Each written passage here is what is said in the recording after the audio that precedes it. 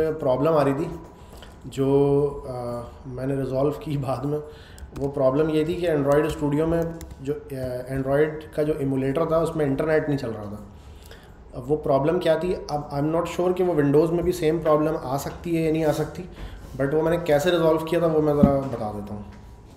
S D के manager में जाके ये इंटरनेट पर डिफरेंट लोगों ने जो सजेस्ट किया हुआ था उस के मुताबिक दो काम मैंने किए थे जिससे वो प्रॉब्लम सॉल्व हो गई थी। अच्छा एक तो ये शो डिटेल्स करके ना sorry S D K tools में जाके ये जो इमोलेटर है इस इमोलेटर को चेक हटाने के ना चेक हटाने से ये अनइंस्टॉल होता है। चेक हटा के और इसको ओके okay करेंगे तो ये डिलीट कर देगा इमोलेटर को। अच्छा डिलीट करके इसको और उसके बाद क्या करना था अगला काम कि इसका जो आ, जहाँ से ये अपडेट होता है। वो कहाँ पे था? अपडेट जहाँ से होता है ये ढूंढते हैं यहाँ पे कहीं था वो। जो अपडेट का चैनल है ना, उसको वो स्टैंडर्ड पे से हटा के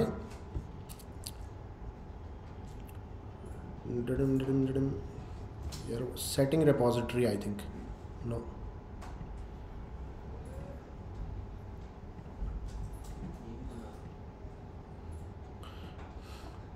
यहाँ पे किसी जगह पे आ रहा था कि जो अपडेट्स होंगी वो कहाँ से उठा के लाया जाएगा अपडेट को? जनरल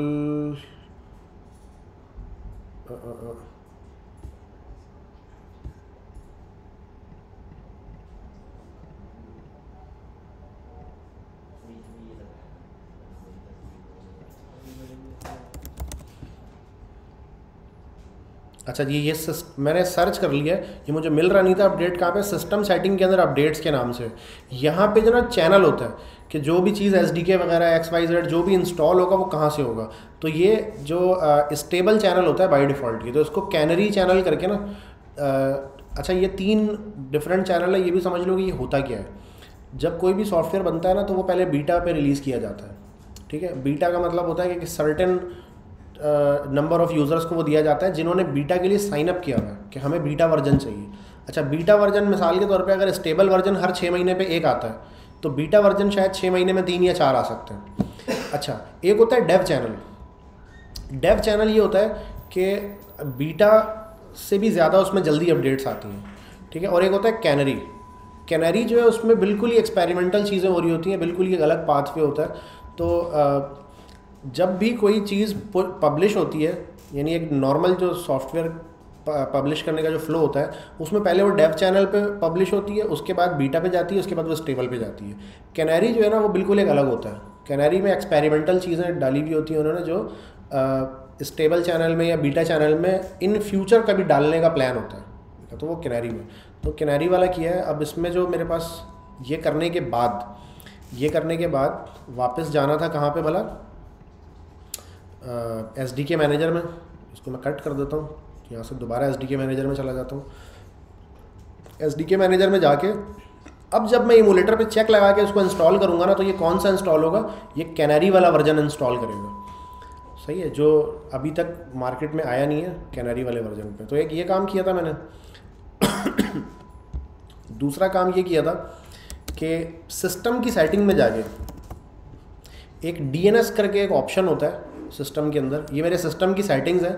इसमें मैंने सर्च किया डी एन एस अब ये भी कहीं अंदर से घूम फिर के आता है। मैंने कहा कि डी एन एस सर्वर अब डी एन एस सर्वर पर जैसे ही मैं क्लिक करता हूँ ना तो ये मेरे पास डी एन एस सर्वर की लिस्ट बनी हुई है। डी एन एस सर्वर क्या होता है, ये आप लोगों को पता है? या नहीं पता है? डी एन यानी डोमेन नेम सर्वर के। जब भी कोई वेबसाइट लिखूँगा मैं डोमेन नेम लिखता हूँ मैं Google dot com is a domain name तो एक रिक्वेस्ट निकल के जाती है किसी सर्वर पे कि इस डोमेन नेम के अगेंस्ट आईपी क्या मौजूद है। तो यहाँ पे उसकी प्रेफरेंस होती है, अगर मैं यहाँ पे कुछ नाम लिख दूँगा तो वो रिक्वेस्ट पहले वहाँ जाएगी।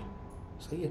अच्छा अगर मैंने इसको खाली छोड़ा हुआ है बाई डिफ़ॉल्ट ये खाली भी होता है, या सम टाइम ऑपरेटिंग सिस्टम कुछ ना कुछ ऐड कर देता है इसमें, अपनी तरफ़ से, अगर मैं इसको खाली छोड़ूँगा तो क्या होगा कि मेरे पास निकल के ये वाईफाई राउटर पे जाएगा। वाईफाई राउटर के बाद जो भी अगला नॉड होगा ना, जो भी अगला कंप्यूटर होगा, उससे पूछेगा कि डीएनएस कौन सा कहाँ पर है। ठीक है? तो बेहतर ये है कि यहाँ पे मैं एक डीएनएस लगा देता हूँ। तो ये जो डीएनएस है ना एट एट चार दफ़ा जो है, ये गूगल का डीएनएस है शायद। और इसके नीचे जो ये क्लाउड फ्लेयर का है, ठीक है? तो एक गूगल का एक क्लाउड फ्लेयर का, ये बड़े फ़ेमस डीएनएस नेम सर्वर्स हैं। तो यहाँ पे एट एट करके एक आईपी लिखी हुई है कि भाई यहाँ से जाके पूछ लिया करो कि कौन सा डोमेन नेम सर्वर है। ठीक है? तो यहाँ पे ये दोनों आई ऐड कर दी है मैंने। तो उससे क्या हो रहा है अभी वो इंटरनेट वाला इशू ना, ये दो काम करने से सॉल्व हुआ है। अब मुझे नहीं पता कि एग्जैक्टली किस वाले से हुआ है। ठीक है? हिट एंड ट्राई में हुआ है तो मुझे लगता है ये दो काम मैंने जो किए हैं, इसी का कोई इफ़ेक्ट है उस पर वेल अब जब मैं आके यहाँ पे से स्टार्ट करता हूँ वर्चुअल डिवाइस मैनेजर में जाता हूँ, और यहाँ से इस डिवाइस को मैं प्ले करता हूँ तो क्योंकि ये कैनरी वर्जन है तो थोड़ा सा ये एडवांस किस्म की डिवाइस मुझे नज़र आ रही है यहाँ पे। पहले आपने नोट किया था, ये फ्रेम नहीं आता था। इमोलेटर में सिर्फ़ एक बॉर्डर आ रहा होता था, लेकिन अब जो मुझे डिवाइस नज़र आ रही है यहाँ पे गूगल की कैनरी वर्जन से जो मैंने डाउनलोड की है इमोलेटर वो थोड़ा एडवांस किस्म का इमोलेटर है फ्रेम व्रेम सब कुछ आ रहा है उसके अंदर। और मे भी उसमें सेटिंग में कुछ एक्स्ट्रा चीज़ें भी आती होंगी। ठीक है? मैंने नोट नहीं किया कि सेटिंग में कुछ एक्स्ट्रा चीज़ आ रही है। वेल अगर मैं यहाँ पे इसकी सेटिंग पे क्लिक करता हूँ, इस थ्री डॉट पे क्लिक करता हूँ तो ये ऑप्शंस खुलते हैं। यहाँ पे ऑप्शंस में जाऊँगा मैं सेटिंग में, और सेटिंग में जाने के बाद मैं एडवांस में, नहीं सॉरी यहाँ नहीं है। कहाँ से आता है? अबाउट ये रहा। हेल्प में जाने के बाद लास्ट में अबाउट लिखा हुआ है। अबाउट में जाके जब मैं इसका वर्जन चेक करता हूँ तो इमोलेटर का वर्जन बता रहा है मुझे और ये बता रहा है मुझे कि कैनरी अपडेट चैनल में से ये उठाया गया ठीक है। इसको मैंने क्लोज़ किया। अब मैं यहाँ पे इंटरनेट चलाने की कोशिश करता हूँ तो होपफुली ये चल जाना चाहिए। अच्छा ये मेरे पास पावर सेविंग ऑन हुई हुई है, इसलिए काफ़ी स्लो चल रहा है। पावर सेविंग को मैं बंद कर देता हूँ।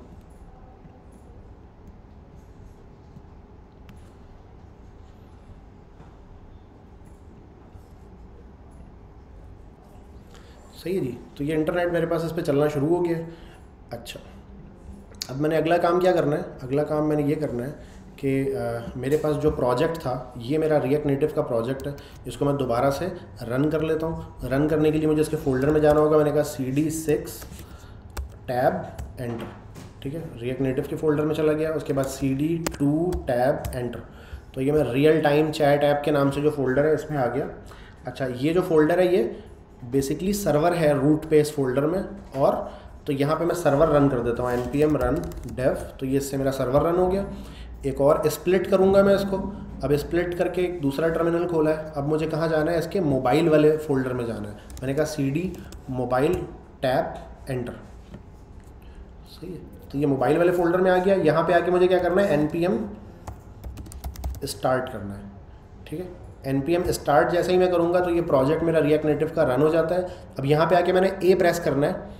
तो ए प्रेस करते ही क्या होगा? मेरे ये एंड्रॉयड फ़ोन में चल जाएगा। लेकिन उससे पहले मुझे एक दूसरा टर्मिनल खोल के ना, मुझे ये चेक करना है कि ये मेरी device A D B devices पे शो हो रही है या नहीं। ए डी बी डिवाइसेस लिखा मैंने, ठीक है जी, ये डिवाइस मेरे पास ए डी बी डिवाइसेस पे शो हो रही है। तो मैं बंद करता हूँ इसको और यहाँ पे आके मैं ए प्रेस करता हूँ ताकि ये उस डिवाइस पे जो ए डी बी पे कनेक्टेड है, उस पर शो हो जाए। ठीक है? अच्छा ये ए डी बी डिवाइसेस पे जब आप फ़िज़िकल डिवाइस कोई कनेक्ट करते हैं तो वो भी शो हो रही होती है यहाँ पर जब तक वो शो नहीं होगी ए डी बी डिवाइसेस पे, उस पर आपकी ऐप चलेगी नहीं। ठीक है? अच्छा ए डी बी डिवाइसेस पे शो करने के लिए आपको क्या करना होता है? फ़ोन की सेटिंग में जाके डेवलपर ऑप्शंस इनेबल करने होते हैं और डेवलपर ऑप्शंस इनेबल करने के बाद यू एस बी डिबगिंग आपको इनेबल करनी होती है। जब भी वो यू एस बी पे लगाने से ए डी बी पे शो करना शुरू कर देता है। अच्छा तो ये मेरे पास चल चुका है। अच्छा इसके अलावा मैंने दो छोटी छोटी चेंजेस और भी किए हैं। आ जाते हैं जी log in dot T S X की जो फ़ाइल है मेरी। इसमें जो बेस यू है मेरा, इसको पहले मैंने रखा था लोकल होस्ट लेकिन local host is not suppose to work क्यों? वो इसलिए नहीं कि मेरे पास ये जो डिवाइस चल रही है ये एक वर्चुअल डिवाइस है। सही है? ये आ, या इमेजिन करें चलें आप इमोलेटर में नहीं चला रहे आप इसको चला रहे हैं फ़िज़िकल डिवाइस में। अब फ़िज़िकल डिवाइस में जब आप इसको चला रहे हैं तो आपके लैपटॉप पे ये सर्वर रन हो रहा है। Laptop is a different device और आपका जो फ़िज़िकल मोबाइल फ़ोन है उसके ऊपर आपकी रिएक्ट नेटिव की ऐप रन हो रही है। That is a different device अब जब मैं लोकल अगर ऐप वो चल रही है मोबाइल फ़ोन के अंदर और मोबाइल फ़ोन में मैं बोलता हूँ ना local host colon five double zero one तो उस मोबाइल डिवाइस के कम, जो कंप्यूटर ही है ना मोबाइल डिवाइस एक्चुअली कंप्यूटर है तो उस कंप्यूटर में वो ढूँढने की कोशिश करेगा कि इसी में सर्वर रन हो रहा हो। ठीक है? और एंड्रॉयड डिवाइस के अंदर आपके कोई सर्वर रन नहीं हो रहा है। है ना?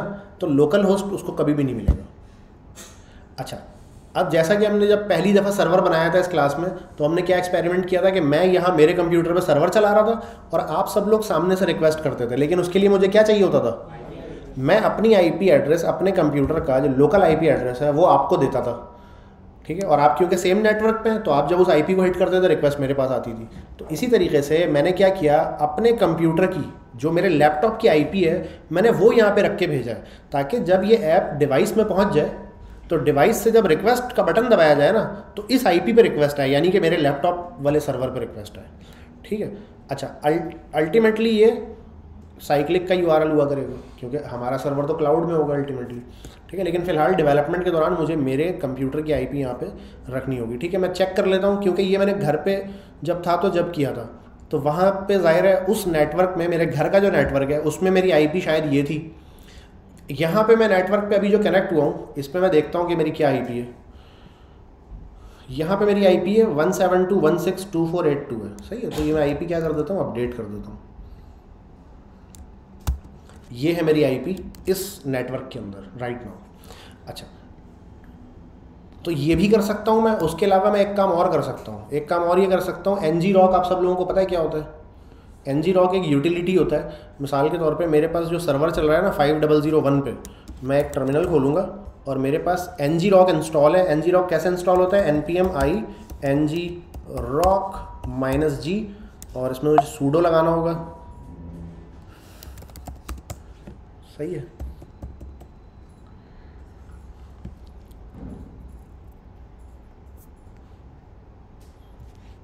एन जी रॉक ही इंस्टॉल हो रहा है।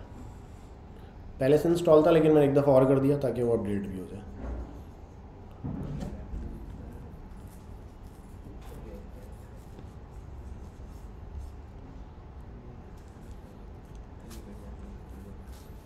भाई, क्या हो गया?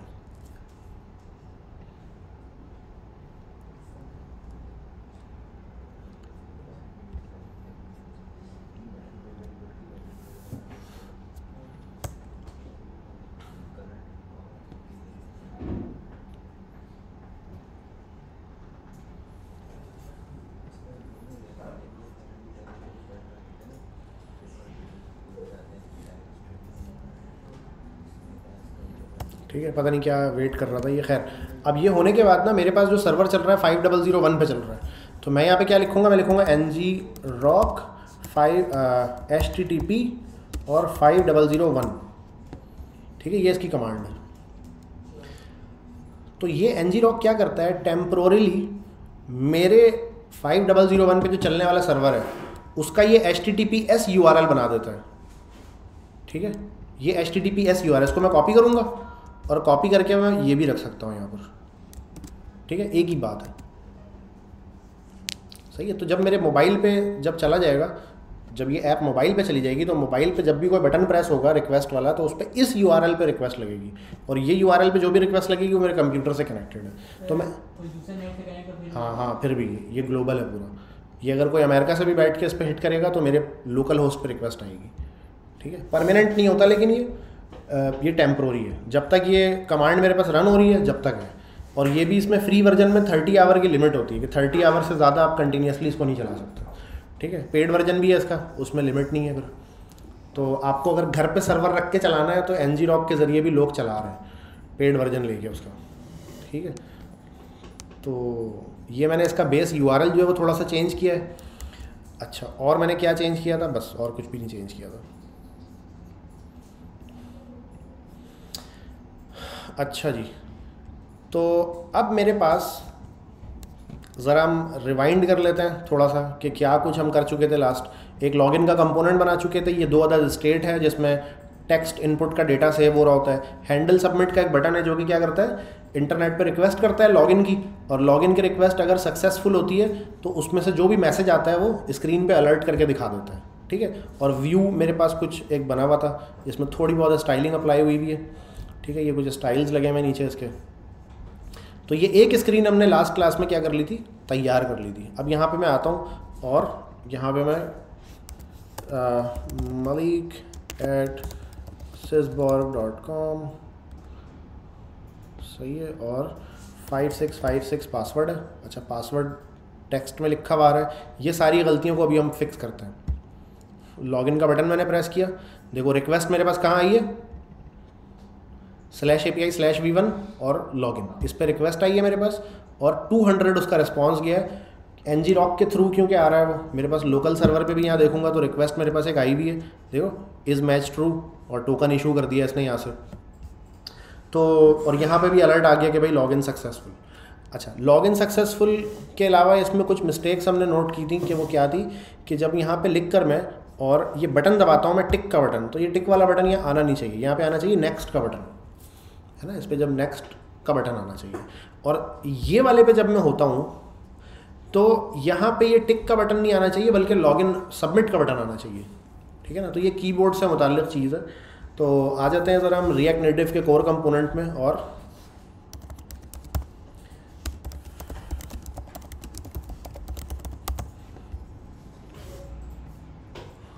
ठीक है जी कोर कंपोनेंट में आके और हम कौन से कंपोनेंट में जाना चाह रहे हैं अभी? टैक्स इनपुट में। ठीक है जी। तो टैक्स इनपुट में जो सबसे पहले ईमेल है मेरे पास, इसमें मेरे पास कीबोर्ड कौन सा खुलना चाहिए? ईमेल एड्रेस वाला कीबोर्ड खुलना चाहिए और सबमिट का जो बटन है की का, यानी जो एंटर का बटन है, उसमें नेक्स्ट आ रहा होना चाहिए। तो मैं जी चला जाता हूँ टैक्स इनपुट में और टैक्स इनपुट में जाने के बाद मैं क्या करता हूँ, इसकी तमाम प्रॉपर्टीज़ को मैं देखना शुरू करता हूँ। ठीक है जी auto correct auto focus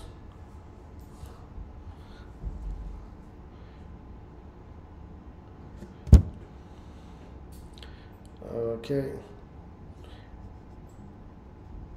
enter key hint नहीं, ये नहीं है।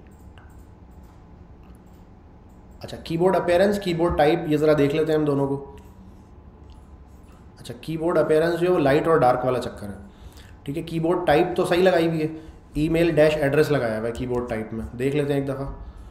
ठीक है, ईमेल डैश एड्रेस लगाया हुआ है। ये तो सही है। ठीक है, ईमेल वाला कीबोर्ड वो लेकर आता है। अच्छा लेकिन उसके बाद मुझे क्या चाहिए कि एंटर करने पे जो है ना वो आ जाते हैं जी on change on blur on content on end editing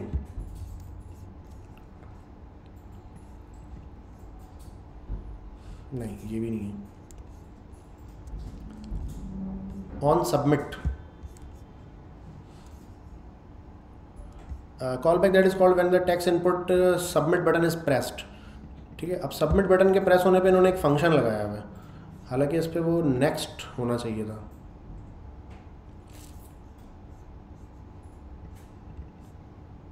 Native element text event count target void. Note that ios uh, isn't called when the keyboard type is font pad.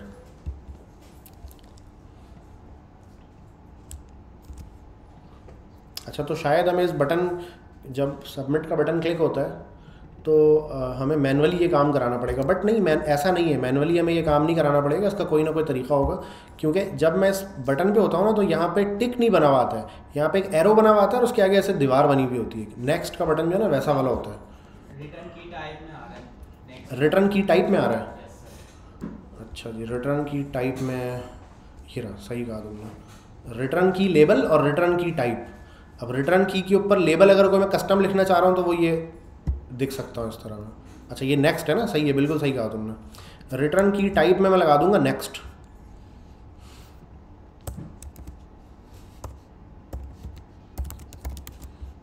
आ जाते हैं जी अब।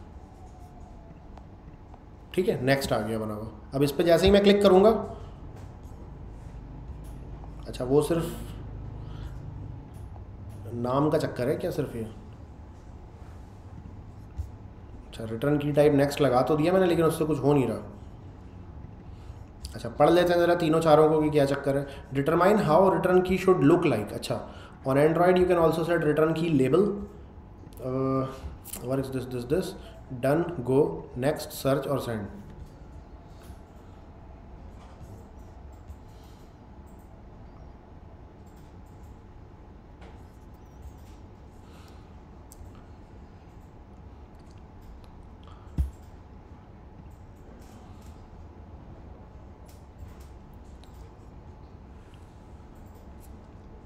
अच्छा एक एक वो हो सकता है प्रॉब्लम कि मेरा टैप सीक्वेंस सही ना हो, ये भी तो हो सकता है।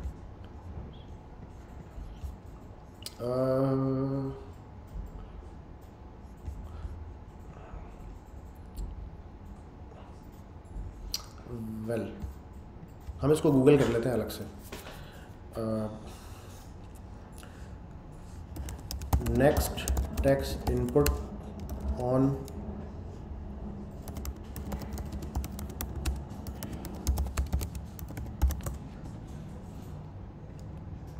किसी ने क्वेश्चन पूछा हुआ है कि भाई मेरे पास दो टैक्स इनपुट है और मैं रिटर्न जब क्लिक हो तो मैं नेक्स्ट पे जाना चाह रहा हूँ तो वो मैं कैसे जाऊँगा? अच्छा ये जवाब पहले देख लेते हैं, कितने टाइम पहले का? 2021 में किसी ने ये जवाब दिया है और इसको तेरह लोगों ने कहा है कि ये सही है जवाब। क्या किया इसने? Custom input custom input no दूसरे के आंसर को देखते हैं ज़रा। अच्छा दोनों की का इसने रेफ बनाया हुआ है पहले इनपुट का और क्या किया हुआ है? ऑन सबमिट एडिटिंग पे वो रेफ पे फोकस करवाया है। तो काइंड kind ऑफ़ of, सिर्फ़ नेक्स्ट लगाने से सिर्फ़ अपेयरेंस ही चेंज हो रही है और कुछ भी नहीं हो रहा। तो हमें ये काम भी करना पड़ेगा। तीसरा आंसर देख लेते हैं अगर कोई बेहतर आंसर किसी ने दिया हो तो। इसने भी यही किया हुआ है। इसने भी यही किया हुआ है।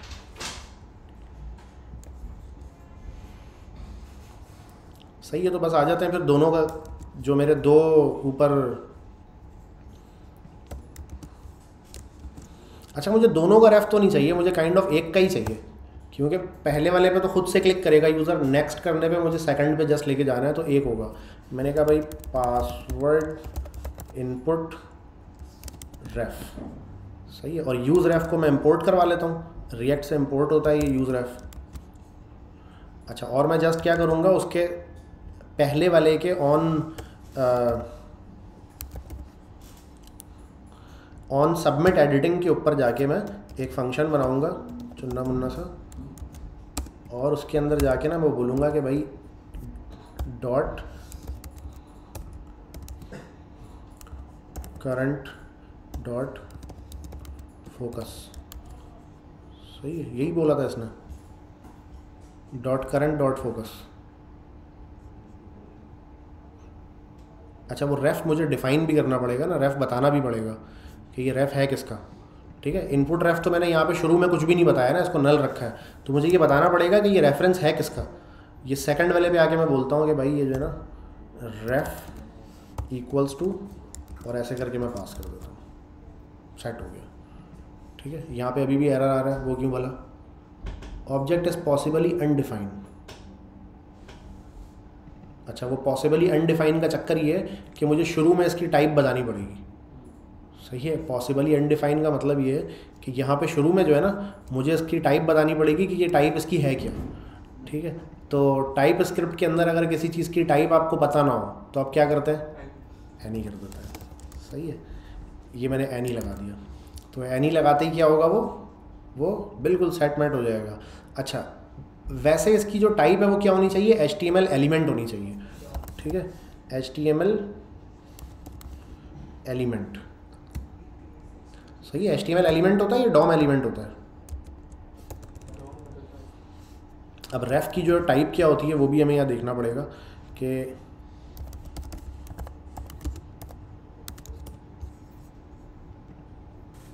ठीक है, वो कह रहा है रेफ की टाइप आप कैसे बताओगे? क्या, कैसे पता चलेगा उसको कि इस रेफ में क्या आने वाला है?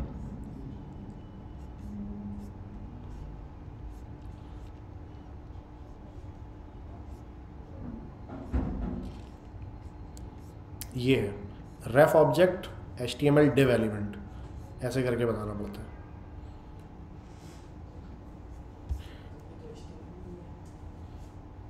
ठीक है। रेफ करके ही शुरू है वो। उसका नाम जो वो रेफ करके। है तो मैं यहाँ पे आके लिखूँगा रेफ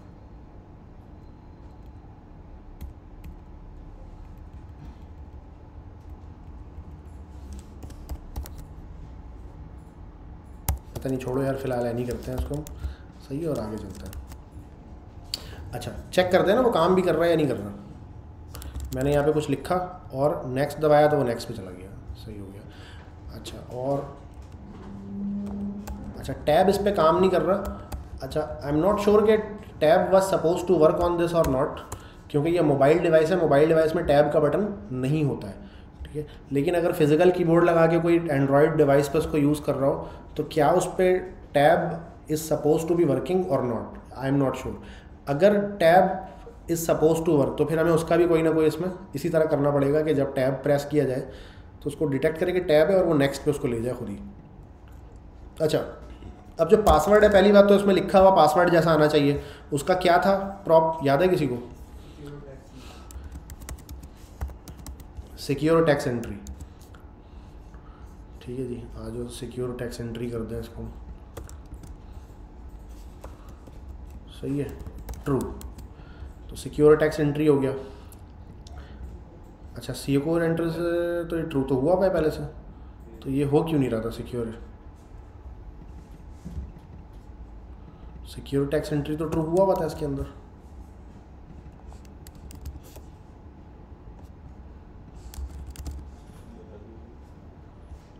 ऐसा क्यों भला?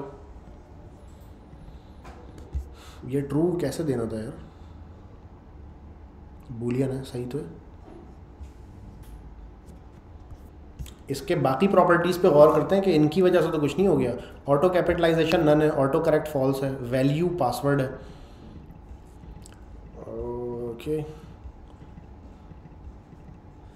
क्या मुझे वैल्यू पासवर्ड लगाने की ज़रूरत थी? नहीं थी मुझे। क्योंकि वो तो सिर्फ़ मुझे ऑन चेंज पे इसको वो करवाना है ना। नहीं, फ़र्क लेकिन उससे भी नहीं पड़ा इसको।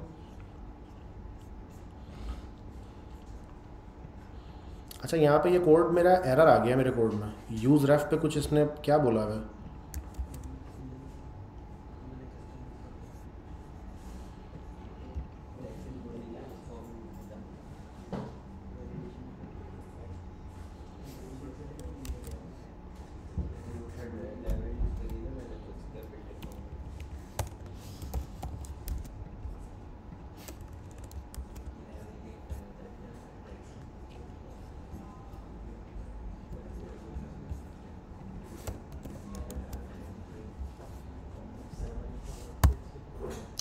मुझे असल में जब एरर आया था ना तो वो कोड क्या हो गया था? स्टक हो गया था यहाँ पे। और उसके बाद वो मज़ीद अपडेट नहीं हो रहा था। तो मुझे यहाँ पे आके ना आर दबाना था रीलोड करने के लिए। ठीक है, ये ऑटो रीलोड इसका पता नहीं बंद हुआ हुआ शायद। ठीक है तो ये अब इसका इम्पैक्ट इस पर नहीं यार, लेकिन अपडेट तो ये हो रहा था।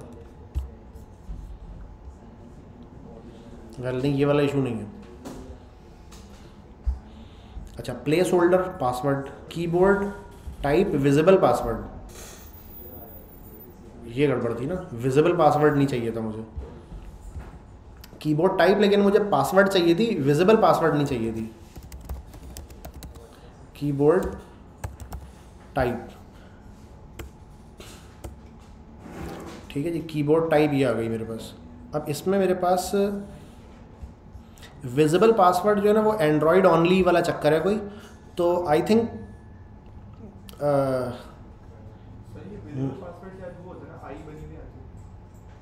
सॉरी हाँ वो आई बनी हुई आती है। उसको क्लिक करने पे विजिबल करना होता है। तो हाँ तो ये बाई डिफ़ॉल्ट इस दे दिया है इन्होंने जो जिसने भी ये शहजाद ने बनाया था मेरे खाली वाला ना। उसने बाई डिफ़ॉल्ट उसको विजिबल पासवर्ड दिया हुआ है। लेकिन पासवर्ड के लिए इनमें से अप्रोप्रिएट कौन सा होगा? नुमेरिक नहीं होगा ईमेल नहीं होगा डिफ़ॉल्ट होगा। तो कीबोर्ड टाइप यहाँ पे एक्चुअली में डिफ़ॉल्ट होगा। सही है। अब वो सिक्योर टैक्स एंट्री शायद अब वो काम करेगा। ये क्या हुआ?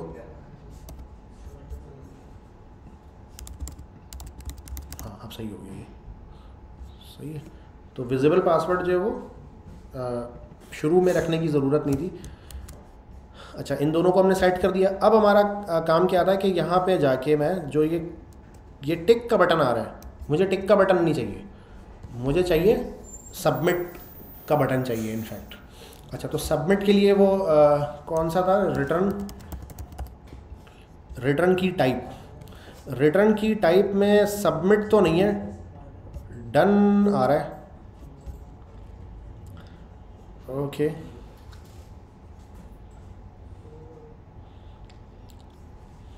अच्छा ये वो प्रॉपर्टीज़ है जो सब दोनों में लग जाती हैं। ठीक है डन गो नेक्स्ट सर्च और सेंड तो मेरा ख्याल है डन वाला मुझे चाहिए होगा यहाँ पे।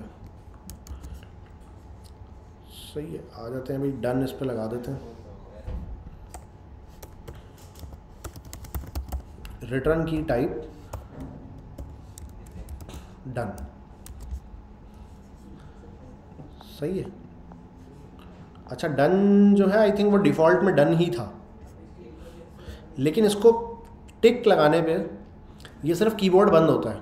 मुझे चाहिए कि इसको सबमिट भी कर दें हाथ के हाथ। मैं ये करना चाहता हूँ। तो इसके लिए मुझे क्या करना पड़ेगा? Enable return key automatically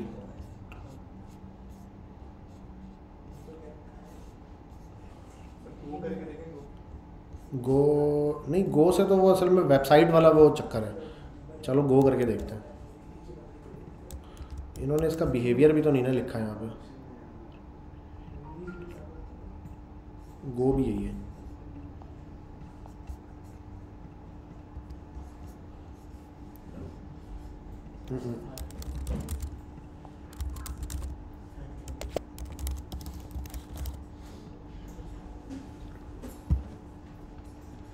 गो में वो एरो आ जा रहा है। ये जस्ट विजिबिलिटी का चक्कर है ये मेरे समझ आ गई जस्ट विजिबिलिटी का चक्कर है। डन लिखा मैंने। अच्छा और मैं क्या करता हूँ ये रिटर्न टी ले, लेबल भी लगा देता हूँ यहाँ पे। रिटर्न की लेबल भी लगा देता हूँ। सबमिट सही है पूरा सबमिट लिखा हुआ आ जाए यहाँ पे। ये क्या हुआ? लिखा हुआ तो नहीं आया।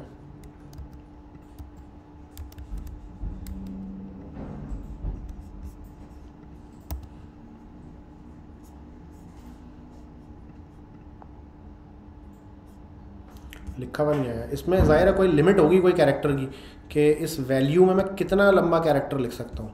Set the return key label use it instead of return key type अच्छा इंस्टेड है ये। अगर मैंने टाइप लगा दी तो वो फिर काम नहीं करेगा। तो टाइप मुझे हटानी पड़ेगी इसका मतलब है। सबमिट का ये लिखा हुआ दिखाने के लिए मुझे टाइप इसकी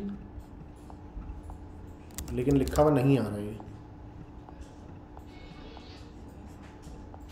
हाँ भाई, क्या लगता है, ऐसा क्यों है?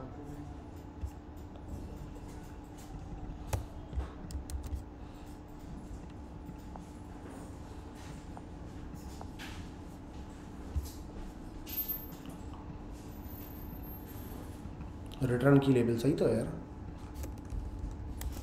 तीन कैरेक्टर लिख के देखते हैं, क्योंकि मे भी वहाँ पे कैरेक्टर की लिमिट होगी कुछ ना कुछ।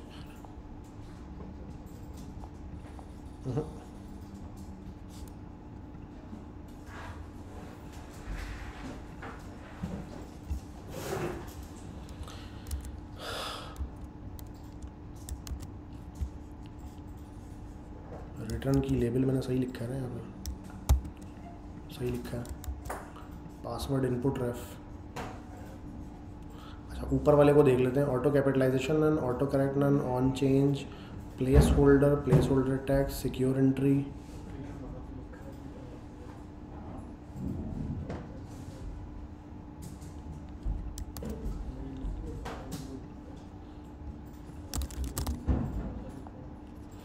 मे भी इसका कोई ये वाला चक्कर तो नहीं है कि एंड्रॉयड के एक सर्टन वर्जन पे ये नज़र आएगा उसके बाद वाले पे नहीं आएगा।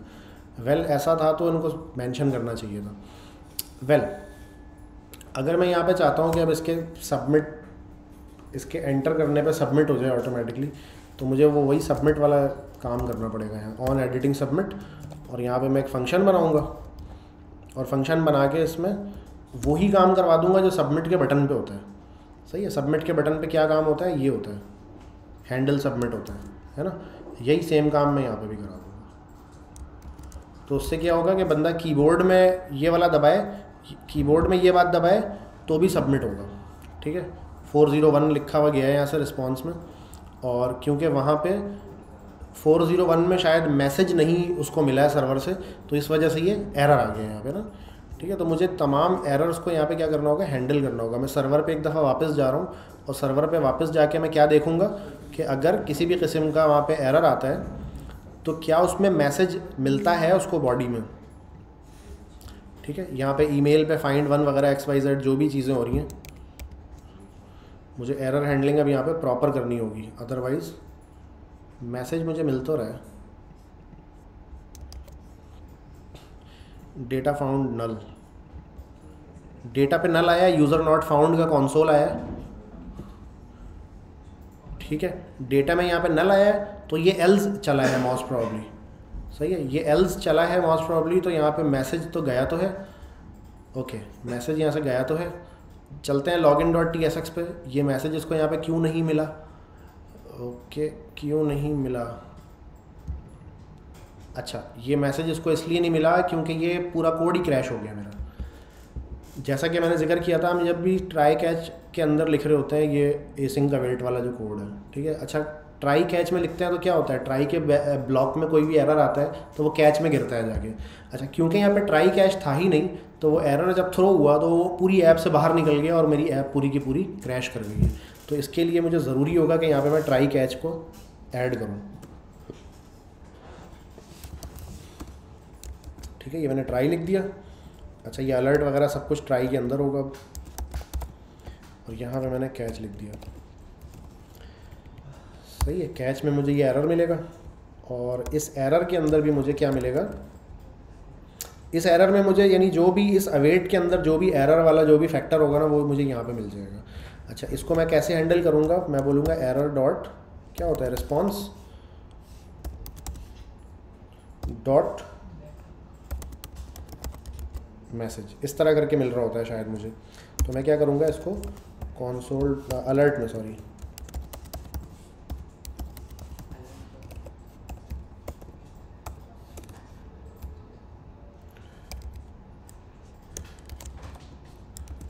ठीक है? इसको ना मैं टेक्स्ट में कन्वर्ट करके मैंने इसको पास किया है राइट ठीक है? ई पे एरर किस खुशी में आ रहा है?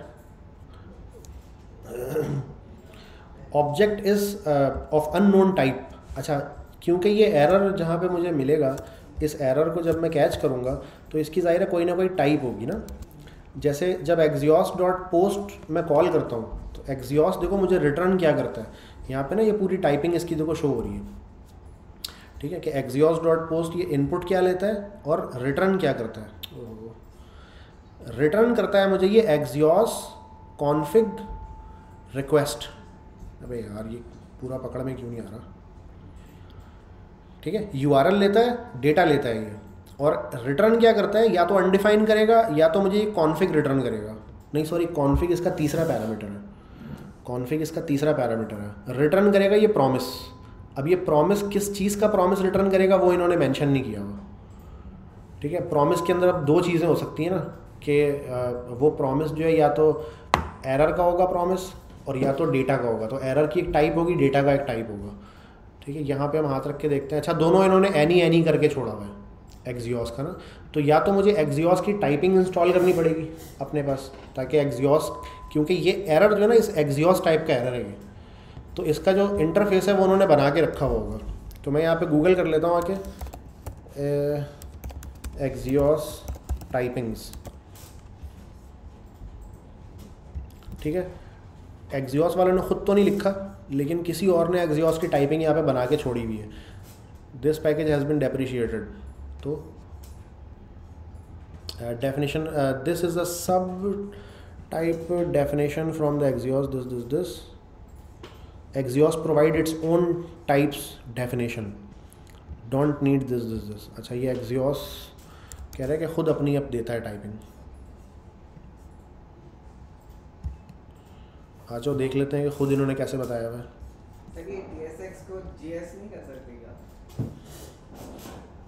जे एस करके देख लेते हैं। आ जाओ। ये लो जे एस कर दिया। अब ये एनी पे एरर दे रहा है कि ये एनी क्या चीज़ है भाई। हाँ तो जे एस एक्स करके ये यूज़ हो सकता है। लेकिन फ़िलहाल मैं इसको वापस टी एस एक्स कर रहा हूँ ताकि थोड़ा सा टी एस एक्स भी पढ़ दो ना हाथ के हाथ। सही है।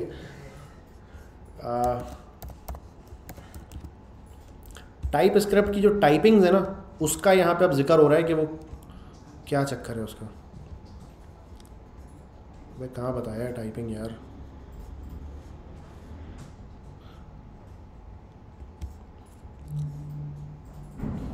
अच्छा common J S usages in order to gain the TypeScript typings for intelligence and auto complete using common J S import with require use the following approach हमने तो ऐसा ही इम्पोर्ट किया। ये लेगेसी है रिक्वायर वाला, ठीक हो गया। तो हमें क्यों नहीं टाइपिंग मिल रही इसकी फिर?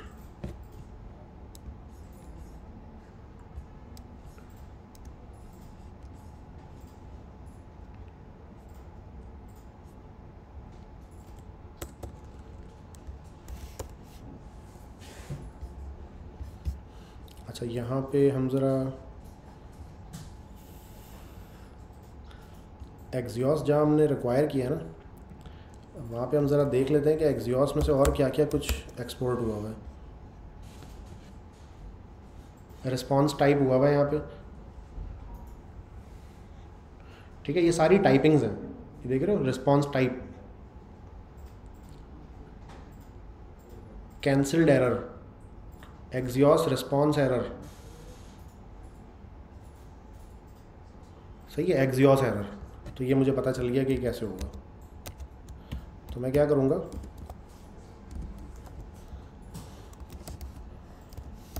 ठीक है एक्जियोस एरर करके मैंने यहाँ से इम्पोर्ट कर लिया इसको।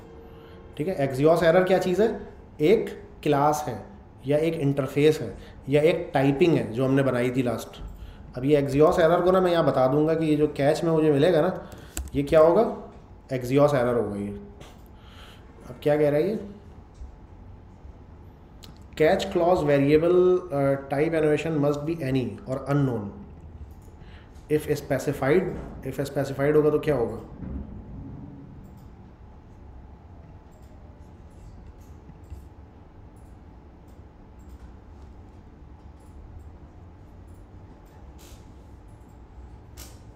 अच्छा। कह रहे हैं यहाँ पे ना ऐसे डी भी लगा दो।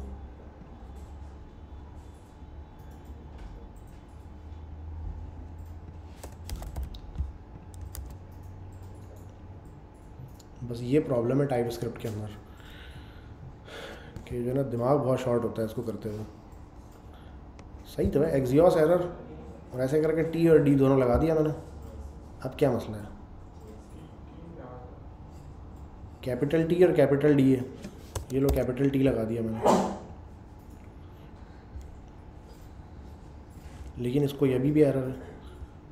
कह रहे कि T is unresolved any can not find name T ठीक है, एक काम करते हैं, यहाँ पे से ये एरर में भी दो आ रहे थे ना इसके पास। एक तो ये कैंसल्ड एरर है, लेकिन वो भी एक ही बात है। ये भी इसमें भी साथ में टी लगा हुआ है। एक्जियोस एरर में भी साथ में टी और डी लगा हुआ है। अब ये टाइपिंग इसको कैसे देनी है? डोंट नो ठीक है?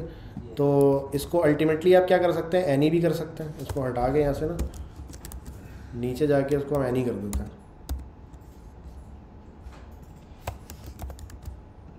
हर चीज़ का हल इसमें क्या है? एनी ठीक है? और टाइप स्क्रिप्ट बहुत सारे लोग ना एनी एनी करके यूज़ कर रहे हैं। हाँ बस कोई फ़ायदा नहीं है। एनी लगा दिया तो टाइप स्क्रिप्ट का कोई फ़ायदा नहीं है फिर। ठीक है। लेकिन ज़ाहिर है टाइम खा रहा है वो, बिला वजह में। अब यहाँ पे मुझे पता है ना कि इस ई e के अंदर मुझे ज़्यादा से ज़्यादा क्या मिलेगा? मुझे एरर का वो मैसेज मिलेगा। अब वो एरर जो है ना, वो मैं यहाँ से देख लूँगा ना आगे एक्जियोस में। एक्जियोस की जो एरर हैंडलिंग है, वो तो मुझे पता है ना उसमें क्या आता है।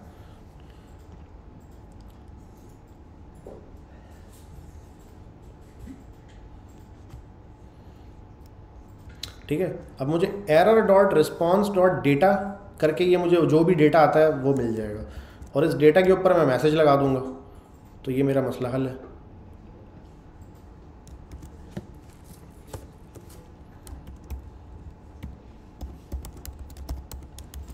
अब यहाँ पे ये कहते हैं कि यार, इधर ना आप ऐसे बता दो ऐसे करके कि ये इस तरह से आएगा इसके अंदर। तो ताकि ना रन टाइम पे कोई इशू ना आए।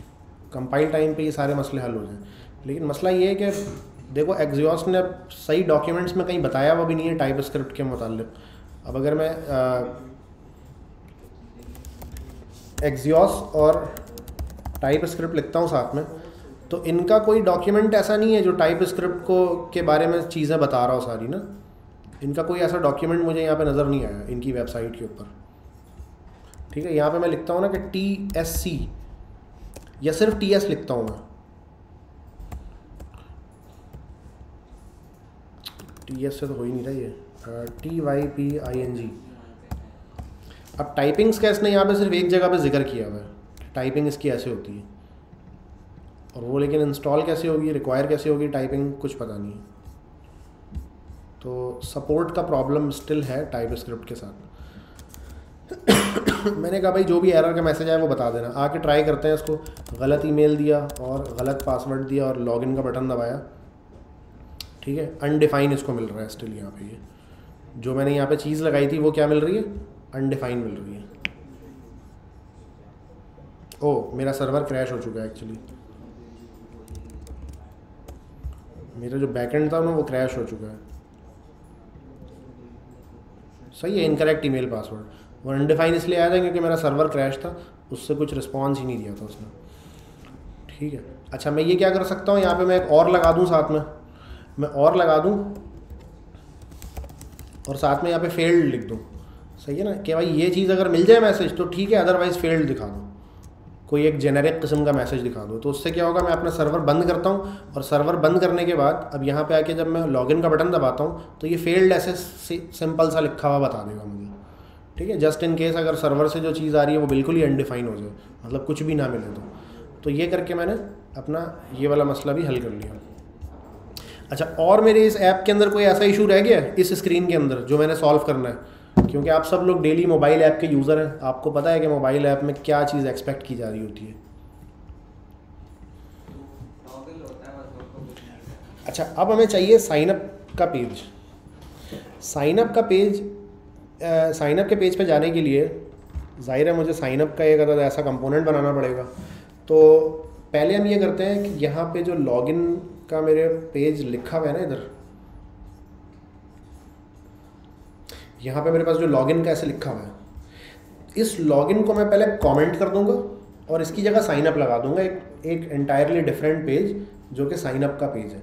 फिर जब मेरा साइनअप का पेज कंप्लीट हो जाएगा और वो वर्किंग भी करने लग जाएगा तो फिर हम क्या करेंगे? इसमें राउटर का सेटअप कर देंगे। ठीक है? कि भाई एक पॉइंट पे लॉगिन और एक पॉइंट पे साइनअप दोनों, क्योंकि बगैर राउटिंग के बगैर दो पेजेस तो हम दिखा नहीं सकते। ठीक है? या तो मुझे कोई बटन बनाना पड़ेगा लिंक विंक कराना पड़ेगा, लेकिन वो बहुत लंबी कहानी है। तो बेहतर ये है कि जो प्रॉपर राउटर है, जिस तरह वेब में लगाते थे हम, वो हम लगा दें।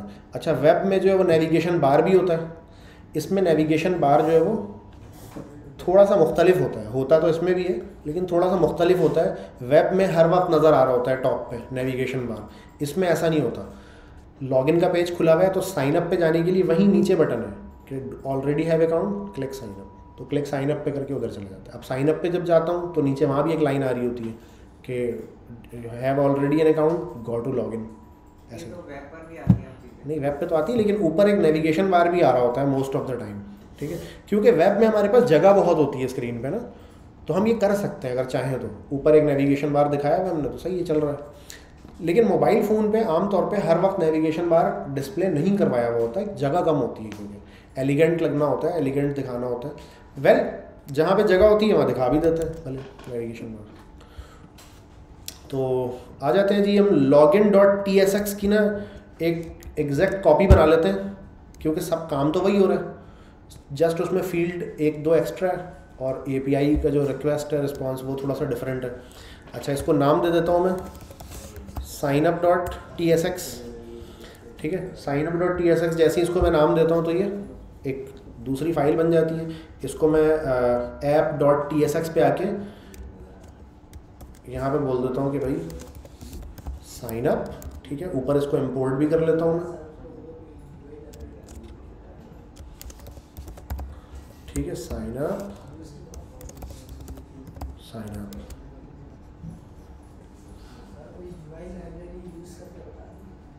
U I library भी यूज़ करते हैं। अभी ज़रा बेसिक हम राउटिंग वाउटिंग तक तो पहुँचने दो। यू आई लाइब्रेरी भी कर लेते हैं। चलिए साइन अप साइन अप इसके नीचे ये लकीर क्यों बनी हुई आ रही है यार? क्या बकवास है? S I G N U B sign up अच्छा ये कह रहे हैं स्पेलिंग इसकी सही नहीं है। यार स्पेलिंग यही होती है ना साइन अप की? गलत क्यों गया है? अच्छा चलो खैर हो गई। स्पेस नहीं डालते भैया बीच में।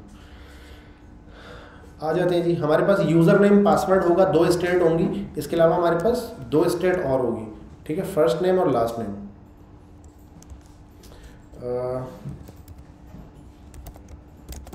फ़र्स्ट नेम और यहाँ पे होगा ये लास्ट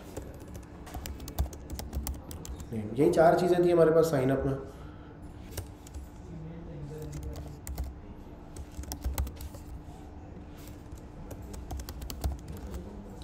सही है जी। फ़र्स्ट नेम लास्ट नेम हो गया। User name email user name एक ही बात है और पासवर्ड तो चार चीज़ें हुआ करती थी हमारे पास साइन अप के एपीआई में। साइन अप की एपीआई को ज़रा एक दफ़ा देख भी लेते हैं। ये रहा मेरा ऑथ डॉट जे एस जो मेरा सर्वर है। तो साइन अप की एपीआई में मैं ये चार चीज़ें एक्सपेक्ट कर रहा हूँ। अच्छा ये साइनअप में ना ये जो यूज़र नेम है, इसको भी मैं क्या कर देता हूँ? इसको भी मैं प्रॉपर ना ईमेल बना देता हूँ। सही है। और सेट यूज़र नेम को भी ना मैं ईमेल बना देता हूँ। सही है, ताकि वो रिकग्नाइज रहे थोड़ा। बेस यूआरएल मेरा यहाँ पे इस वक्त सेम है। अच्छा बेस यूआरएल मैंने अपने दोनों कंपोनेंट में अलग अलग बनाया हुआ है। कॉन्स्टेंट एक करके ना कॉन्स्ट करके ऐसे बनाया हुआ है। लेकिन अल्टीमेटली क्या करूँगा मैं? एक कॉन्टेक्स्ट एपीआई सेटअप करूँगा इसमें, उसके अंदर इसको मूव करवा दूँगा, ताकि पूरी ऐप में वो एक एक जैसा हो जाए।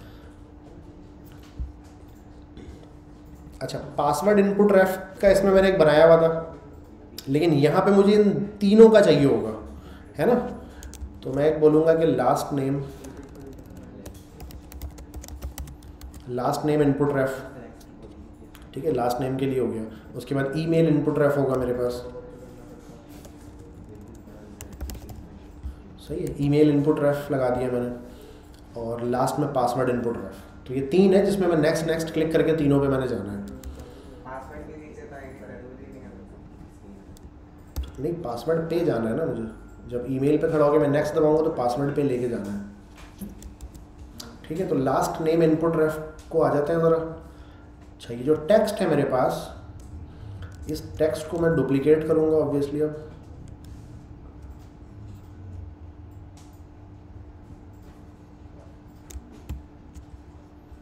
सही है, ये टेक्स्ट मेरा डुप्लीकेट हो गया।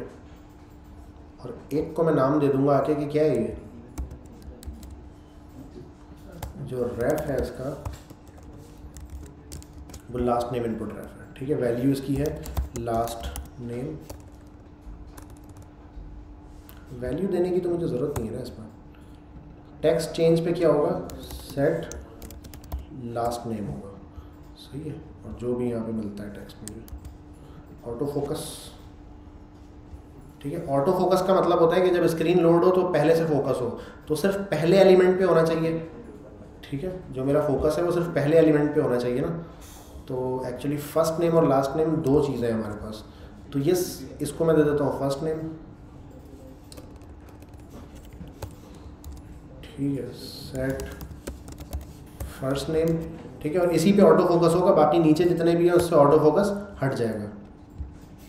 ठीक है पेज लोड होते ही एक पे मुझे ऑटो फोकस चाहिए। तो on text change first name auto focus placeholder first name keyboard type इसके अंदर जो होगा वो डिफ़ॉल्ट होगा। बल्कि डिफ़ॉल्ट नहीं इसको कुछ भी नहीं देंगे तो हम जो नॉर्मली कीबोर्ड होता है वही आएगा। स्टाइल इसमें इनपुट पे जो भी स्टाइल स्टाइल है वो है। ऑटो कैपिटलाइजेशन इसमें मैं शायद नेम में तो शायद कैपिटल करना चाहिए तो ये हटा देता हूँ नन नहीं करना मुझे। ऑटो करेक्शन को भी मैं इसमें आ, क्योंकि अंग्रेज़ी नाम होगा मोस्ट प्रॉब्ली तो उसमें ऑटो करेक्शन चल जाता है अंग्रेज़ी नामों में। लेकिन खैर, इसको फॉल्स रहने देते हैं। प्लेस होल्डर का कलर है रिटर्न टाइप जो है वो नेक्स्ट है। बिल्कुल ठीक है नेक्स्ट ऑन सबमिट एडिटिंग पे, यानी फ़र्स्ट नेम के बाद इसको जा रहे हैं लास्ट नेम पे। तो मैं कहूँगा लास्ट नेम इनपुट रेफ और फोकस हो गया उसके ऊपर। ठीक है, ये पहला इनपुट फ़ील्ड मेरा बिल्कुल परफेक्ट हो गया। अच्छा उसके बाद है लास्ट नेम ठीक है set last name placeholder होगा। हाँ। हाँ। रिएक्ट में ही तो चलता था, ये रिएक्ट नेटिव में तो इसके बगैर काम होना चाहिए था मेरे ख्याल में। मतलब नेक्स्ट के बटन पर डिफ़ॉल्ट कोई बिहेवियर होना चाहिए था, लेकिन वो नहीं है इसमें। अच्छा तो ये सेट लास्ट नेम हो गया लास्ट नेम हो गया। कीबोर्ड की टाइप इसके अंदर मैं नहीं दूँगा कुछ भी, ताकि डिफ़ॉल्ट आ जाए। ऑटो कैपिटलाइजेशन भी इसकी नन हटा दूँगा मैं। रिटर्न टाइप इसमें भी नेक्स्ट है। और नेक्स्ट प्रेस करने से क्या हो ये? लास्ट नेम के बाद ये चला जाए। ईमेल पे चला जाए। ठीक है ईमेल पे रेफ नहीं लगाया मैंने अभी तक। मैंने कहा रेफ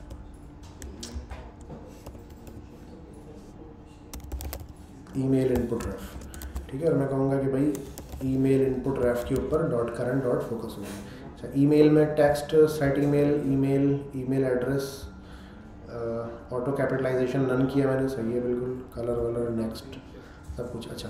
ईमेल से जब नेक्स्ट पे क्लिक किया जाए तो पासवर्ड वाले पे ये मूव कर जाए, और पासवर्ड वाला तो बिल्कुल ठीक है, जैसा कि लास्ट हमने देखा था। आ जाते हैं, ज़रा इस पर देख लेते हैं। ठीक है नेम आ गया। इस पर मैं नेम लिखता हूँ। नेम लिख के मैं नेक्स्ट पे क्लिक करता हूँ तो नेक्स्ट पे आ गया। लास्ट नेम लिखता हूँ मैं। नेक्स्ट करता हूँ ईमेल पे आ जाता है। ठीक है जी, और मैं इस पर नेक्स्ट करता हूँ तो पासवर्ड पे आ जाता है। पासवर्ड पे आके ये चेक का बटन आ जाता है। और चेक के बटन क्लिक करने पे ये ऑटोमेटिकली रिक्वेस्ट करेगा इंटरनेट पे। अच्छा जब रिक्वेस्ट इंटरनेट पे जा रही है तो मुझे यहाँ पे किसी किस्म का लोडर भी कोई ना कोई दिखाना चाहिए। ठीक है? ये भी हमने काम नहीं किया। तो ये नेटिव कंपोनेंट के अंदर हमारे पास कोई ना कोई लोडर मौजूद होगा, जिसको हम आके तलाश कर लेते हैं।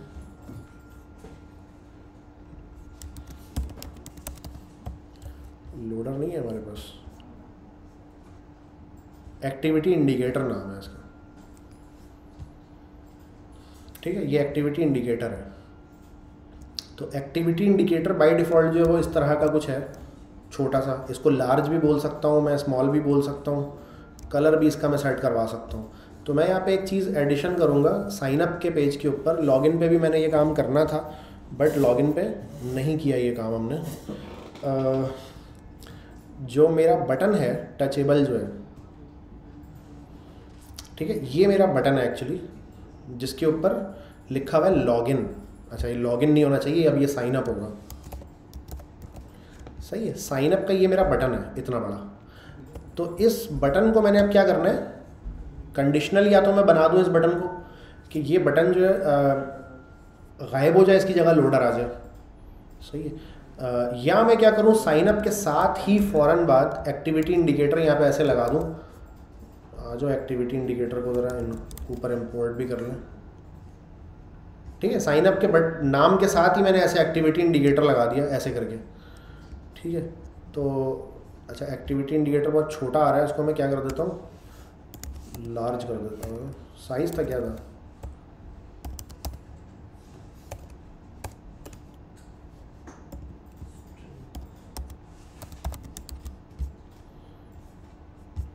कैसे किया था इसने? लार्ज साइज़ लार्ज सही तो है ना मैंने भी तो ये लिखा है।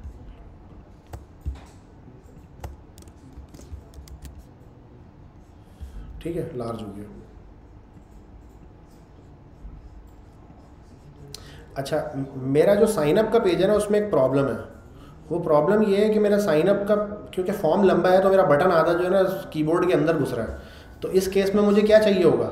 मुझे चाहिए होगा स्क्रॉल व्यू ये जो ऊपर मैंने टॉप पे व्यू लगाया ना, ये व्यू मेरे पास काइंड ऑफ़ फेल हो रहा है। तो इसको मैं क्या बोलूँगा? इसको मैं बोलूँगा कि भाई आप स्क्रॉल व्यू हो आप। सही है स्क्रॉल व्यू इम्पोर्ट नहीं किया हुआ? इंपोर्ट कर लेते हैं। इम्पोर्ट किया हुआ तो है। अब क्या प्रॉब्लम हुआ इसको? स्क्रॉल व्यू पे स्टाइल लगा दिया मैंने, ये मसला हो गया।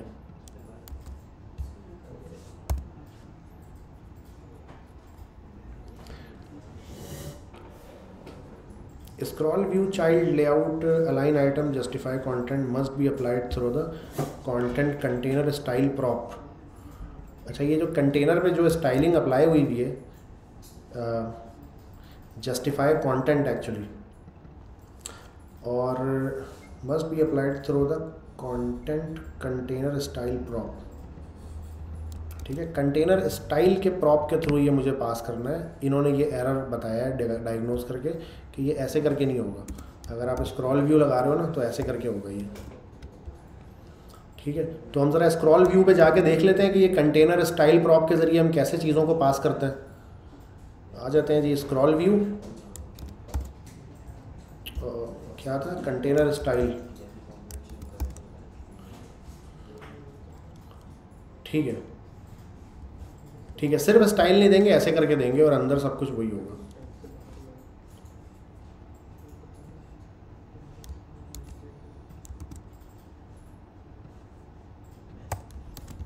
सही है मेरा मसला हल हो गया। तो अब मेरे पास अगर जब कीबोर्ड ओपन होता है, अरे भाई कीबोर्ड क्यों नहीं ओपन हो रहा?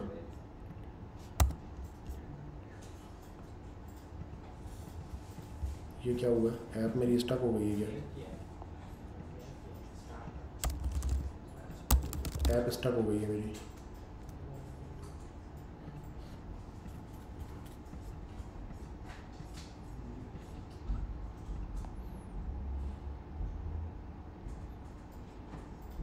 हाँ तो अब मेरा अगर ये अगर मेरा पेज लंबा होता है तो ये मेरा व्यू ना थोड़ा सा स्क्रॉलेबल है। पहले ये बिल्कुल मसला हो जा रहा था बहुत बड़ा। वेल well, अब मैं जल्दी से आता हूँ और ये जो मैंने जो लोडर लगाया है अपने बटन को मैं बिल्कुल शायद गायब करा के सिर्फ़ लोडर दिखा दूँ तो वो ज़्यादा बेहतर है। तो मैं आता हूँ। कैसे करूँगा मैं ये काम भाई? हाँ पहले जो है ना मुझे स्ट्रेट बनाना पड़ेगा एक अदद इसको मैं यहाँ से निकालूँगा बाहर कट करके।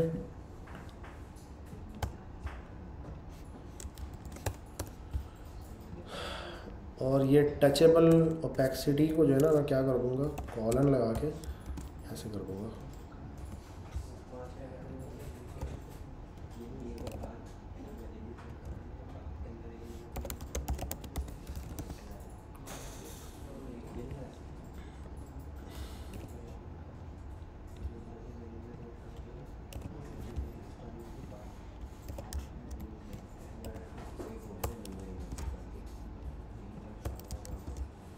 ठीक है? इस लोडिंग एक ये लगा दिया मैंने और एल्स पे ये लगा दिया।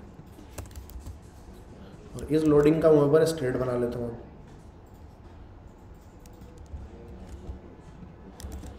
इज़ लोडिंग और सेट इज़ लोडिंग ठीक है, शुरू में इसको रखूँगा मैं। फॉल्स अच्छा ये मैंने गड़बड़ की है। इस लोडिंग मैंने उल्टा लगा दिया। अगर इस लोडिंग होगा तो मुझे ये दिखाना है ना इस पर तो। ये मैंने अपोजिट लगा दिया था। अटेंडेंस के लिए। आ, यार तुम उठो। कार्ड जमा करो सबके और ले जाके उनको दे दो।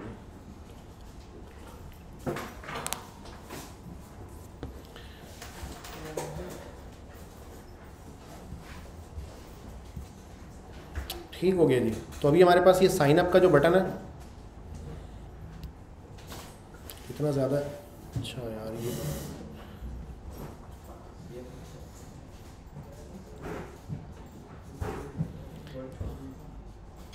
पावर बहुत ज़्यादा यूटिलाइज करता है ये रिएक्ट नेटिव ना। फ़ौरन मेरी बैटरी जो है ना वो कम हो गई। चार्जिंग भी लगा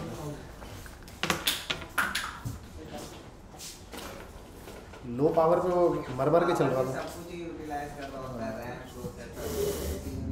दिमाग भी।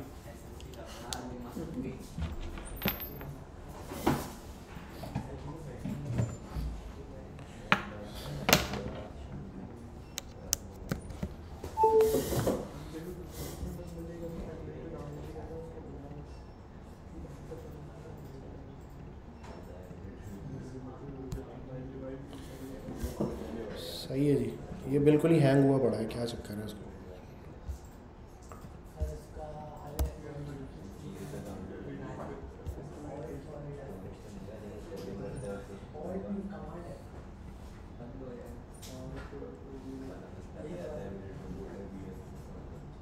कमांड क्या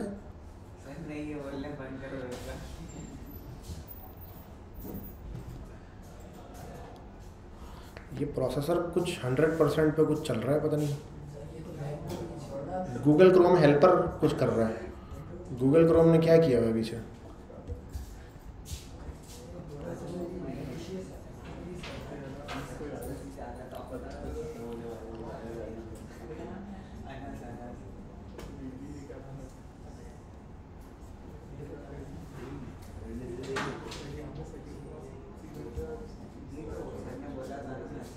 ये तो 91 डिग्री पे पहुँचा हुआ है।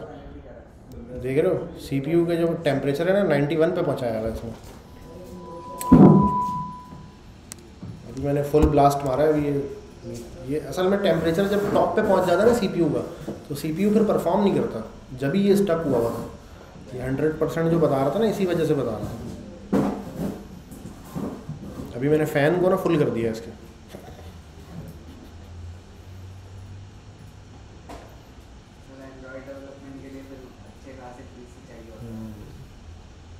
अभी स्टक हुआ क्यों है लेकिन ये भी एक अजीब सी बात है। हाँ? यार ये मैं डिस्क्लोज नहीं कर सकता कि आएगा या नहीं आएगा। मतलब आपको पता है। हाँ पता है मुझे। मुझे उन्होंने ड्राफ्ट भेजा है जो आपको ऐप बना के देने वाले हैं मतलब आने वाली है आपके उसका ड्राफ्ट मुझे भेजा है उन्होंने। रिव्यू करने के लिए थोड़ा सा बिस्मिल्लाह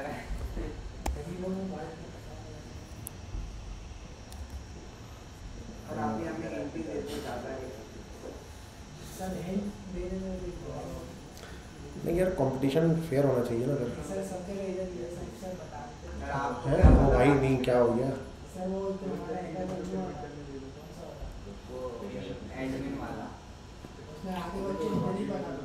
अच्छा। तो नहीं वो तो देखो एक तो मैंने तुम लोगों को बात बताई ना बॉयलर प्लेट रेडी होना चाहिए। बॉयलर प्लेट यार लॉग इन साइन अप वगैरह, ये चीज़ें बना के आप रखो तो बस ख़त्म हो गई बात। आधा दिन तो आपका बच जाएगा ना, इसी में ही बच जाएगा। अगर आप बिल्कुल ब्लैंक बैठे हुए हो गए हैकाथॉन में, फिर तो मसला है। बारह घंटे का होगा, सुबह नौ से रात में।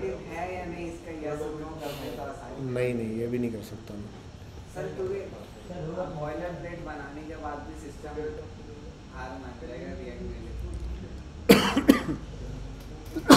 अच्छा चलो मैं एक चीज़ बता देता हूँ, अगर आपकी मोबाइल ऐप अगर आती है आपके पास तो ये ऑप्शनल होगा कि आप रिएक्ट नेटिव पे बनाएँ या पी डब्ल्यू ए पे बनाएँ। ये ऑप्शनल होगा आपके लिए, सही है? अगर आती है तो। पी डब्ल्यू ए पे तो अभी रोना गाना शुरू नहीं कर देना कि पी डब्ल्यू ए नहीं आती। वो तो एक जस्ट मैनिफेस्ट की फ़ाइल होती है और तो कुछ भी नहीं होता। वो उसमें वो एक वो वाहियात गूगल का पता नहीं ऊपर लगा हुआ था स्क्रिप्ट वो हटा के करना, क्योंकि वो हर चीज़ को कैसे कर लेता है जब लास्ट टाइम हमने एक फेस किया था। वो तो वेब के लिए कर रहा था ना एंड्रॉइड के लिए तो अलग ही चीज़ करी थी नहीं एंड्रॉइड के अंदर भी तो वो गूगल क्रोम ही चल रहा होता है ना अल्टीमेटली जब आप ए बना लेते हो ना तो ए बनने के बाद भी उसके अंदर गूगल क्रोम चल रहा होता है। तो वो जो बिहेवियर उसका वेब पे सेम वही बिहेवियर मोबाइल पे भी होता है। ये वाला चक्कर है। यार ये तो चलने का नाम ही नहीं ले रहा।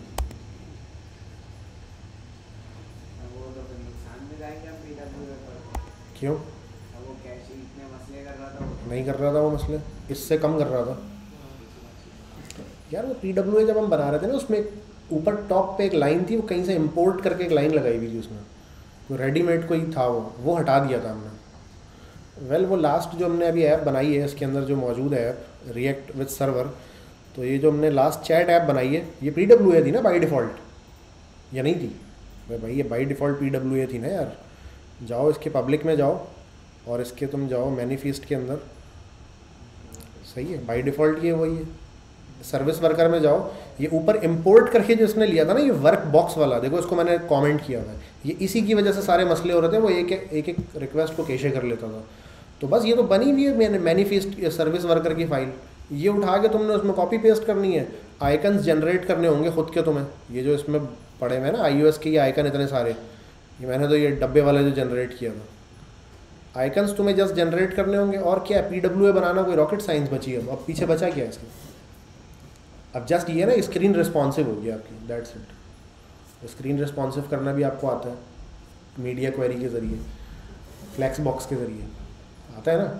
तो आपने पूरा का पूरा कंपोनेंट ही आपने कंडीशनल कर देना है कि लॉगिन राउटर पे जो लॉगिन की स्क्रीन लगी हुई है, उसको पूरा कंडीशनल कर देना है आपने कि अगर वो छोटी स्क्रीन पे हो तो ये कंपोनेंट दिखाया जाए, बड़ी स्क्रीन पे हो तो ये कंपोनेंट दिखाया जाए। हो सकता है ना ये? मुश्किल तो नहीं है। बस ख़त्म हो गई बात। तो रिएक्ट नेटिव या पी डब्ल्यू ए आपके लिए ऑप्शनल होगा।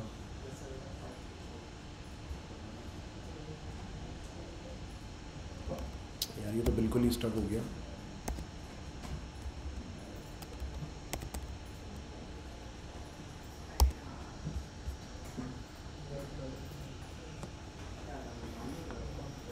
मैंने बंद करके उसको ज़बरदस्ती बंद करके दोबारा से रन किया देखते हैं अभी क्या रिपोर्ट है।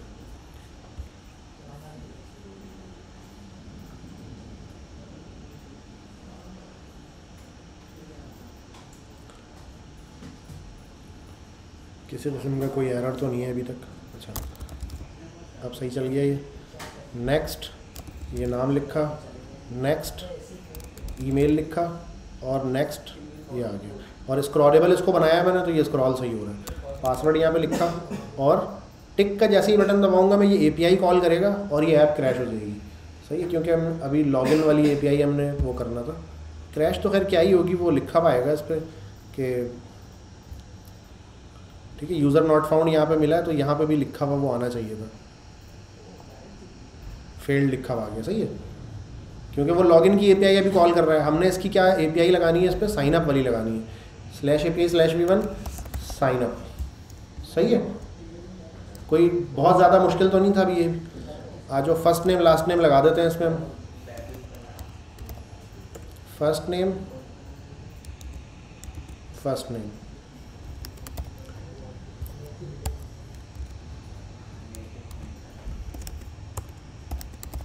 last name last name ठीक है? First name last name email password चार चीज़ें भेजनी थी मुझे साइन अप पे, चारों चीज़ें भेज दी एग्जैक्टली इसी तरह से मैसेज आता है साइन अप का भी रिस्पॉन्स जो आता है। अच्छा मुझे और क्या करना था कि जब तक ये रिक्वेस्ट लगी हुई हो, जब तक मैं क्या कर दूँ? इस लोडिंग को ट्रू करवा दूँ मैं। तो मैं बोलूँगा कि जैसे ही हैंडल सबमिट का बटन क्लिक हो ना तो सबसे पहले आप क्या करो? सेट इस लोडिंग को जो है ना, आप करा दो ट्रू करा दो। जैसे ही बटन पे क्लिक हो ट्रू हो जाएगी। और ये फॉल्स कब हो? फॉल्स ये जब होगा, जब आपके पास ये रिस्पॉन्स का ये मैसेज आ जाएगा ना तो उसके बाद आप क्या करेंगे? सेट इज़ लोडिंग फॉल्स हाँ एरर में भी कराना होगा। यू आर राइट सही हो गया। बस ये इतनी सी बात थी। साइन अप का बटन मैंने प्रेस किया, ये लोडिंग में कन्वर्ट हो गया फेल हुआ तो ख़त्म हो गया सही है, यहाँ पे खड़ा होकर अगर मैं टिक का बटन दबाता हूँ तो भी वो गोल घूमेगा। अच्छा मेरा सर्वर क्या बंद हुआ हुआ है? हाँ सर्वर मेरा बंद हो गया तो साइन अप इसको कर देना चाहिए था प्रॉपर लेकिन इसने नहीं किया। तो आ जाओ, अभी एक साइन अप कर लेते हैं। ईमेल में डालता हूँ A B C at the rate A B C dot com सही है, इस नाम से शायद एक अकाउंट पहले से बना हुआ भी है। और साइन अप का बटन मैं प्रेस करता हूँ। ठीक है यूज़र इज़ क्रिएटेड लिखा हुआ गया। ठीक है साइन अप हो गया। अच्छा साइन अप होने के बाद मुझे अब इसको राउट बैक कराना है किस पे? लॉगिन में ऑटोमेटिकली अच्छा लेकिन वो काम तो अभी हो नहीं सकता, वो इसलिए नहीं हो सकता कि राउटिंग हुई भी नहीं है। तो अब मैंने इस पॉइंट पे आके राउटिंग का सेटअप करना है कि भाई यहाँ पे ना ये सिर्फ़ साइन अप नहीं हो। सही है, ये लॉगिन और साइन अप दोनों हो और राउटिंग का एक सेटअप हुआ हो। तो राउटिंग के लिए हम आ जाते हैं रिएक्ट राउटर डॉम ठीक है। नहीं इसमें ये भी तो है ना। रिएक्ट नेटिव के लिए रिएक्ट राउटर डॉम भी है। दोनों के लिए अवेलेबल है ये रिएक्ट राउटर डॉम अच्छा। ठीक है नेटिव राउटर सही है। ऐसे करके इसको ना इम्पोर्ट कर लेना है और ऐसे करके इसको लगा देना है। ये प्रोवाइडर है हमारा। ठीक है rest of your app is here अब इसकी आगे की कन्फिग्रेशन इन्होंने यहाँ मेंशन नहीं की हुई। वो क्यों नहीं की भला? चलो, इतना तो करें पहले। अच्छा ये काम मैं कहाँ करूँगा? ये काम मैं जो मेरा इंडेक्स डॉट जे एस है, शायद मैं यहाँ पे कर पाऊँ, ये वाला काम। या फिर मैं इसको app dot T S X में भी कर सकता हूँ, यानी जो सेफ़ एरिया वगैरह है, इसके बीच में यहाँ पे लगा दूँगा, कि भाई इतना पार्ट जो है मेरा क्या होगा वो राउटिंग उसमें परफॉर्म हो रही होगी। आ जाते हैं, उसको लगा के देखते हैं। ठीक है? रिएक्ट नेटिव का राउटर यहाँ से मैंने कर लिया। अच्छा इसको इंस्टॉल भी करना पड़ेगा मुझे। इसको मैंने कॉपी किया। कॉपी करके मैं क्या करूँगा? एक, ज़ाहिर एक टर्मिनल और खोलूँगा मैं स्प्लिट जी एस एच और ये मोबाइल वाले के अंदर मौजूद है। इसके अंदर रहते हुए मैं इंस्टॉलेशन की ये कमांड चला दूँगा। एन पी एम आई और रिएक्ट राउटर नेटिव ये मैंने चला दी कमांड और मैं अब क्या करूँगा? ये जो साइन अप मैंने लिखा हुआ था यहाँ पे यहाँ पे मैं ये वाली बात लिख दूँगा।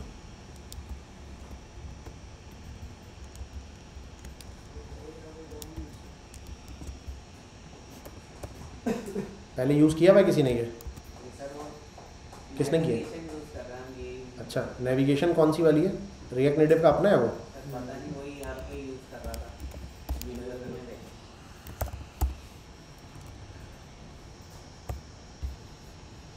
नेविगेशन यहाँ तो कहीं शो नहीं हो रहा। राउटिंग चलो राउटिंग लिख लेते हैं।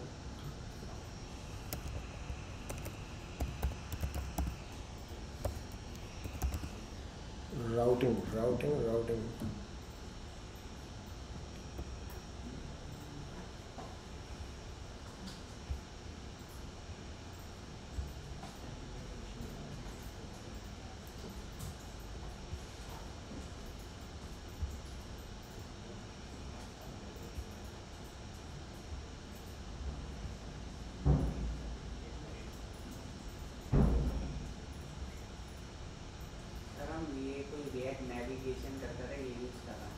भी कोई लाइब्रेरी है ना फिर?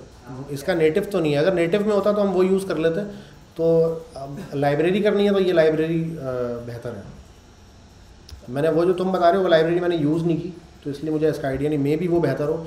वेल कोई एक लाइब्रेरी हम यूज़ कर लेते हैं तो बाकी की लाइब्रेरीज ज़ाहिर है वो मोर और लेस सेम ही होती है। अच्छा ये क्या हो गया भाई? इंस्टॉलेशन हो गई इसकी।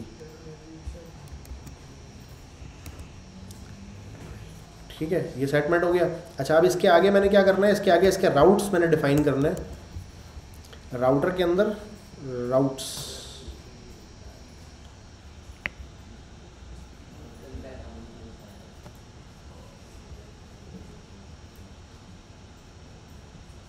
इसकी फुल एग्जांपल कहीं नहीं बताई इन्होंने। क्या लिखा है इसने भाई? Native router is the recommended interface for running react router in react native app what is this अच्छा ये तो वेबसाइट पे ले गया। Rate native router initial entry default this this this single entry initial index this this this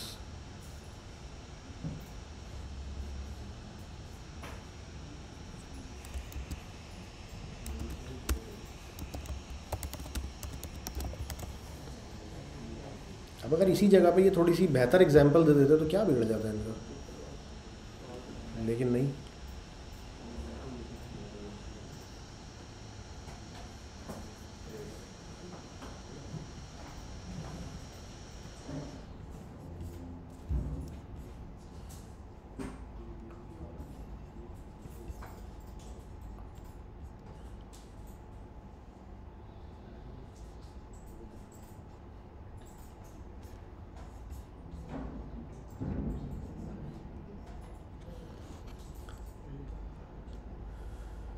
अच्छा एक ये भी है रिएक्ट नेटिव राउटर फ्लक्स एक ये वाला भी बन जाना।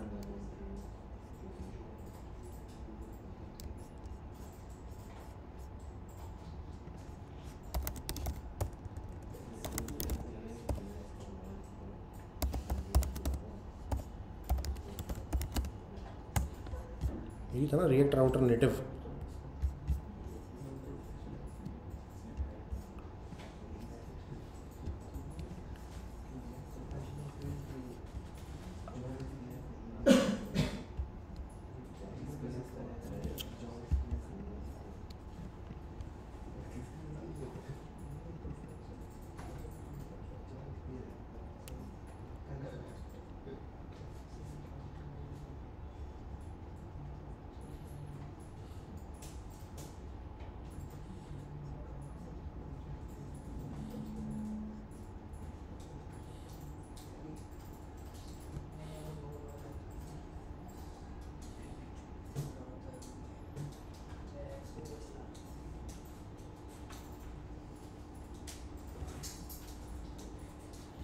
अब यार इन्होंने तो पता नहीं क्या किया हुआ है यहाँ पे।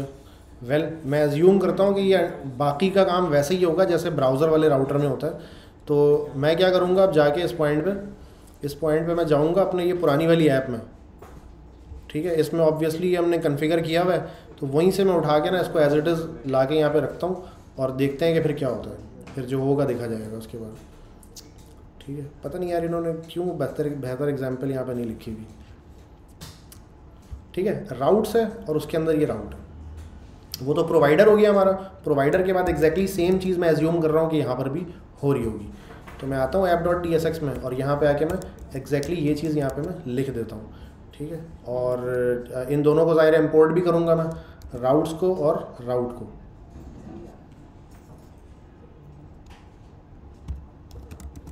राउट्स को और राउट को। इन दोनों चीज़ों को मैंने इम्पोर्ट कर लिया यहाँ से। और इम्पोर्ट करने के बाद क्योंकि मेरे पास सिर्फ़ दो राउट हैं तो मैं क्या करूँगा? सिर्फ़ दो राउट ऐसे यहाँ पे ला के लगाऊँगा। एक में लॉगिन कर दूँगा, एक में साइन अप कर दूँगा।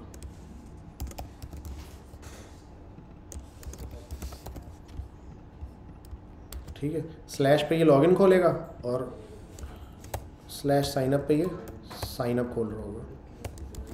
ठीक है? लेट्स सी के हाउ इट वर्क्स ठीक है? लॉगिन तो इसने खोल दिया। अब मुझे जो साइन अप का यहाँ पे बटन है ना, इसके क्लिक के ऊपर मुझे कहाँ लेके जाना है इसको? इसको मुझे मूव करवाना है साइन अप के ऊपर। ठीक है? स्लैश साइन अप ठीक है? इस पर मैंने मूव करवाना है। अच्छा इनिशियल राउट करके इन्होंने वो बताया था कुछ कि इनिशियल राउट कैसे होगा। यहाँ पे ना इन्होंने नेटिव राउटर पे ये बताया था कि इनिशियल एंट्रीज़ या इनिशियल इंडेक्स अब इन दोनों का क्या मतलब है? Defaults single entry at the root slash U R L और default to the last index of the initial entries अच्छा ये बात मेरे समझ नहीं आई। किसी को अगर आइडिया है तो मुझे बता सकता है ये। ठीक है? इनिशियल एंट्रीज मेरा ख्याल है डिफ़ॉल्ट है। ये सेकंड वाली क्या बात लिखी है इसने ये मेरे समझ नहीं आई। सही है? वेल well, जो समझ आ रहा है वो तो करें पहले। अच्छा। क्या इसने बोला यहाँ पे? सेट है बिल्कुल सब कुछ ओके चल रहा है। अच्छा अब मुझे प्रोग्रामेटिकली किसी चीज़ पे जब मैं क्लिक करता हूँ तो कैसे मैं मूव करवाता हूँ और दूसरा मैं नॉन प्रोग्रामेटिकली कैसे मैं मूव करवाता हूँ वो दोनों तरीके हैं। एक तो मेरे पास क्या है आ, मैं लॉगिन के पेज पे जाता हूँ और लॉगिन के पेज पे जाके यहाँ पे से इंपोर्ट करना पड़ेगा मुझे ऑब्वियसली वही। ये पूरा मैंने कॉपी किया लॉगिन के पेज पे जाके मैंने इंपोर्ट में ना ये लगा दिया। अच्छा मुझे यहाँ पे क्या चाहिए होगा? लिंक चाहिए होगा। सही है लिंक। लिंक एक कंपोनेंट है जिस पे क्लिक करने से मैं कहाँ चला जाता हूँ? जहाँ पे भी मैं भेजना चाहूँ जिस कंपोनेंट पे वहाँ पे चला जाता हूँ। और अगर मुझे जावा स्क्रिप्ट के थ्रू करना हो तो मैं कैसे करता हूँ? बता सकता है कोई? एंकर टैग से थोड़ी करता हूँ जावा स्क्रिप्ट नेविगेट से करता हूँ। सही है। यूज़ नेविगेट करके था गालबन। अच्छा तो ये साइन अप इतना जो पार्ट है ना, इसको मैंने क्या कर देना है? इसको मैंने लिंक में पैक कर देना है। सही है। ये मैंने लिंक में पैक कर दिया। और लिंक में क्या बताता हूँ मैं कि टू ले जाओ कहाँ पे? स्लैश साइन अप पे ले जाओ। आगे देखते हैं क्या होता है। यहाँ क्या हुआ इसको?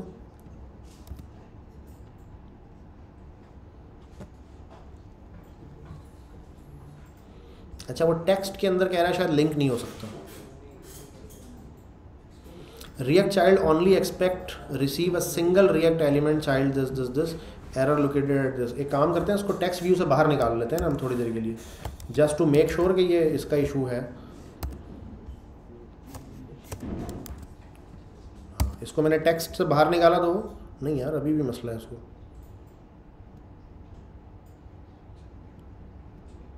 एक मिनट मैं लिंक को देख लेता हूँ, ज़रा इसको यूज़ कैसे किया जाता है। लिंक यहाँ पे आते हैं कहाँ गया लिंक लिंक लिंक लिंक अच्छा टू करके इसको ऐसे चाहिए होता है वाल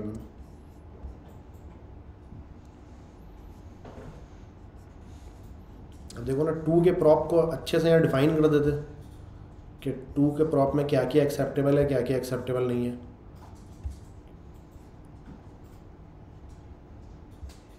to new path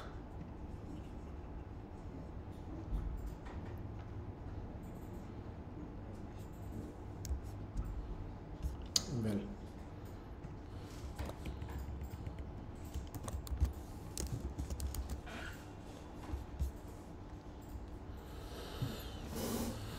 error इसने क्या दिया भाई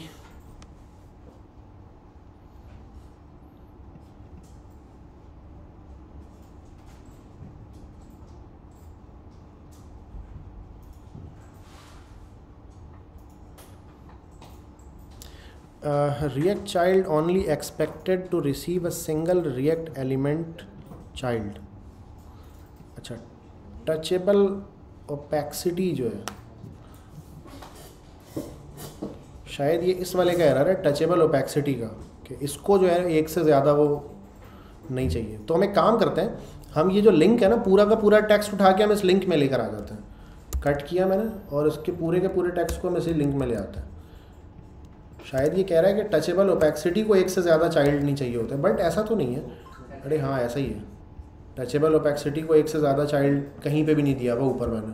सिर्फ़ यहीं पे ऐसा था कि मैंने टचेबल ओपैक्सिटी को एक से ज़्यादा आइटम दिया हुआ था।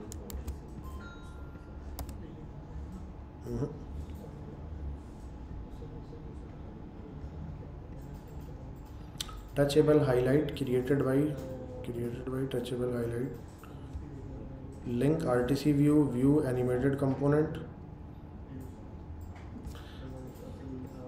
यार मैं ये टचेबल ही हटा दूँ ना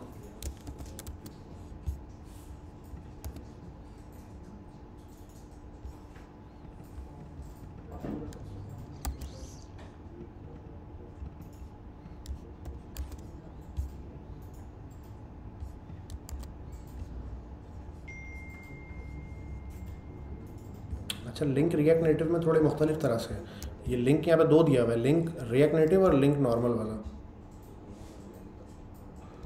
ओके लिंक को ऐसे मुझे टेक्स्ट पास करना होगा अंदर। शायद ये वाला चक्कर है। लिंक रिएक्ट नेटिव अच्छा अच्छा।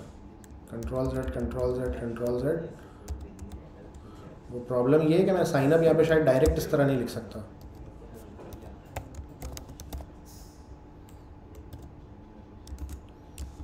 अब, अभी सेट है बिल्कुल, ठीक है। तो ये चक्कर था कि मैं इसको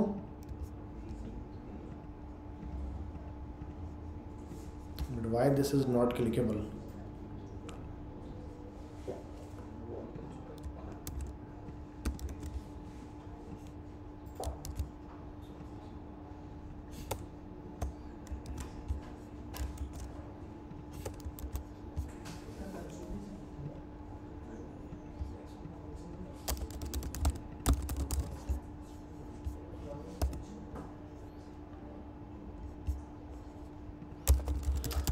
mobile app दोबारा से जो है वो स्टक हो गई है।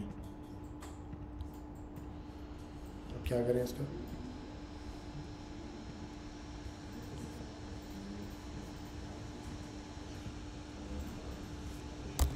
अच्छा सही है, मोबाइल ऐप मेरी चलने लग गई। अब मैं साइन अप पे क्लिक करता हूँ तो हाँ लेके जा रहे हूँ। बट एक प्रॉब्लम नोट की मैंने। एकदम अजीब सा, काला सा हुआ जब उसको मैंने क्लिक किया तो है ना? बैक बैक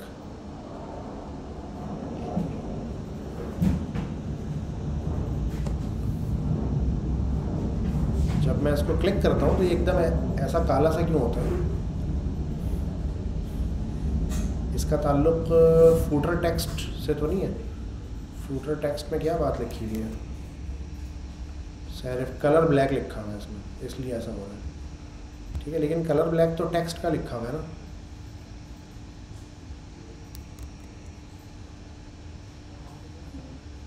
टेक्स्ट का कलर है ये तो ब्लैक बैकग्राउंड कलर थोड़ी लिखा है है ना?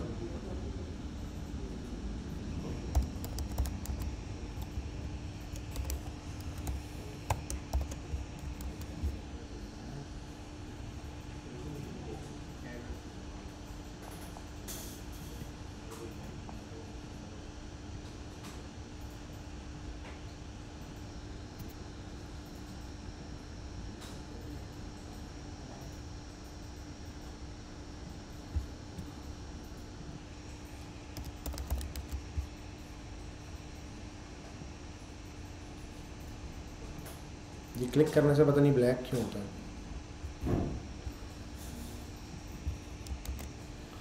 ये इतना जो टचेबल पूरा पार्ट है, ये क्लिक करने से ब्लैक हो रहा है। वेल इस प्रॉब्लम को हम बाद में देखेंगे बट अभी हम क्या करेंगे? इसी सेम चीज़ को मैंने अप्लाई करना है अब साइन अप के बटन पे साइन अप की स्क्रीन पे, कि साइन अप की स्क्रीन पे जब बंदा मौजूद होगा, और वो क्या करेगा? ठीक है लॉगिन पे जाना चाह रहा है। साइन अप के बटन पे मौजूद है, लॉगिन पे जाना चाह रहा है। Already have an account सही है? लॉगिन सही है, यहाँ पे वो जाना चाह रहा है। तो उसके लिए ये पूरा मंजन मौजूद है।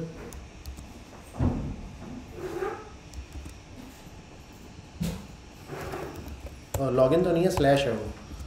सही है स्लैश हो सही है तो स्लैश पे उसको ले जाए। और लिंक यहाँ ऊपर इम्पोर्टेड नहीं है तो उसको इम्पोर्ट भी कर लेते हैं लिंक को।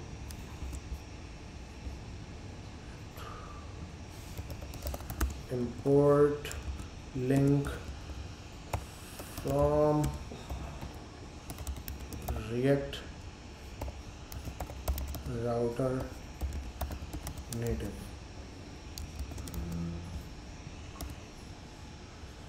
set path हो गया, बेहतरीन हो गया। साइन अप पे करते हैं साइन अप पे। और यहाँ से, ये तो लॉगिन शो नहीं हो रहा, ये क्या चक्कर है? लॉगिन पे किया तो लॉगिन पे वापस। लेकिन ये ब्लैक हो रहा है, ये पता नहीं क्या चक्कर है। अगर मैं इस पर से टचेबल हटा दूँ तो।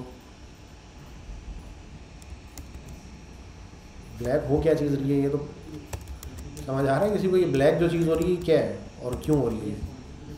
किसी को भी अगर आइडिया हो तो वो शेयर कर सकता है अपने थॉट्स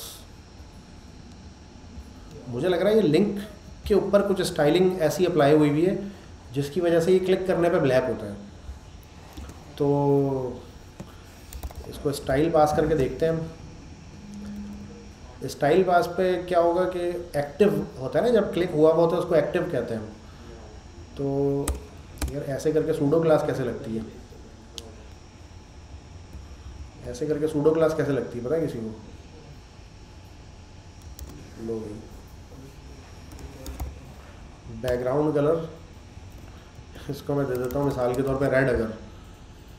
ये कौन से मेरे पे लगाया? साइन अप पे लगाया मैंने। सही है बैकग्राउंड कलर रेड तो यही पार्ट क्लिक करने पे ब्लैक हो रहा है।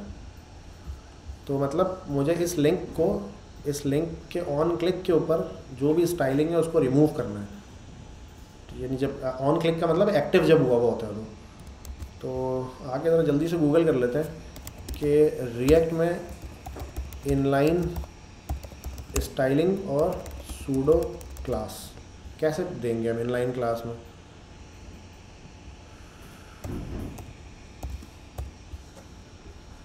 ठीक है how to pseudo element as inline styling लोगों ने देखो ये सवाल पूछा हुआ तो है।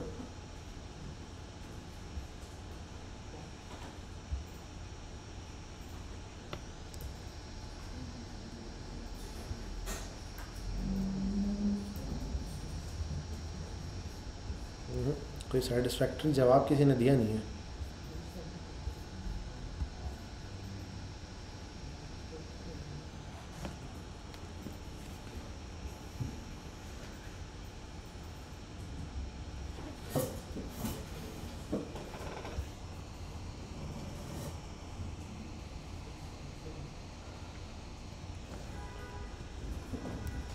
अच्छा ऐसे करके देंगे।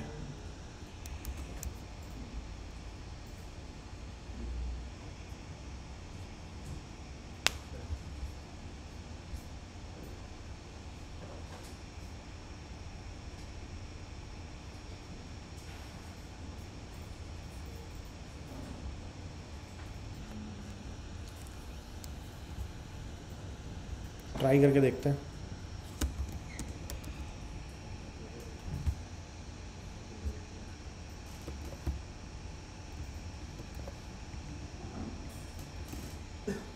अब मैं यहाँ पे एक ऑब्जेक्ट जो पास करूँगा वो।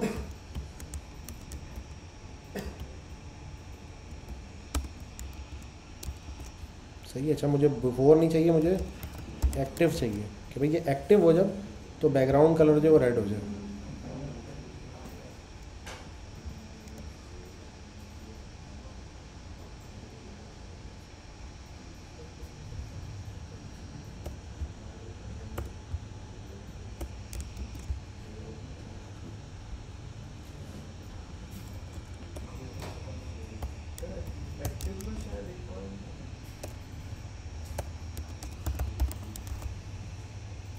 क्या दे रहा है भाई? Is not assignable to type style prop view style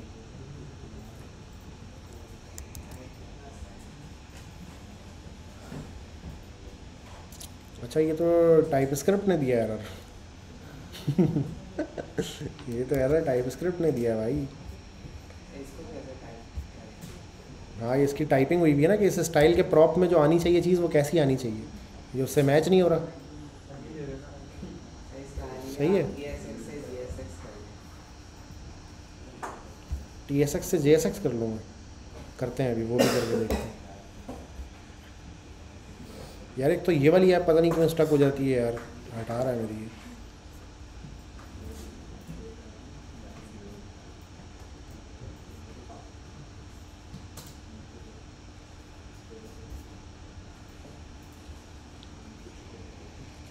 इसने मुझे एक लिंक दिया ना कि यार यहाँ से जाके देख लो स्टाइल प्रॉप्स को।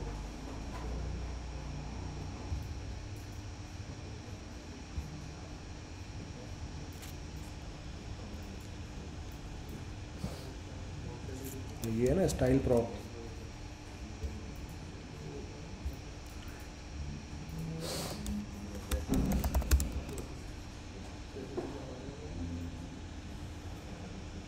हाँ ये अब किसी ने प्रॉपर ये सवाल पूछा है।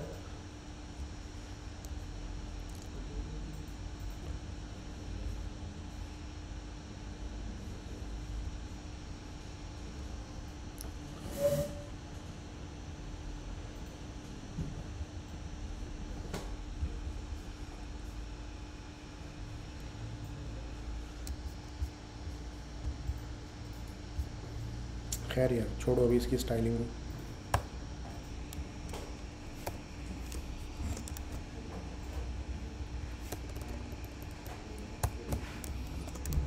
सही है।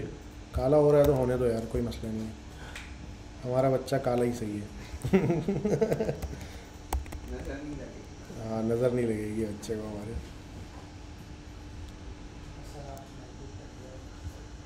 हाँ यार, ये सब चीज़ें स्टक कर दी हैं इसने, पता नहीं, इतना ज़्यादा जो है ना वो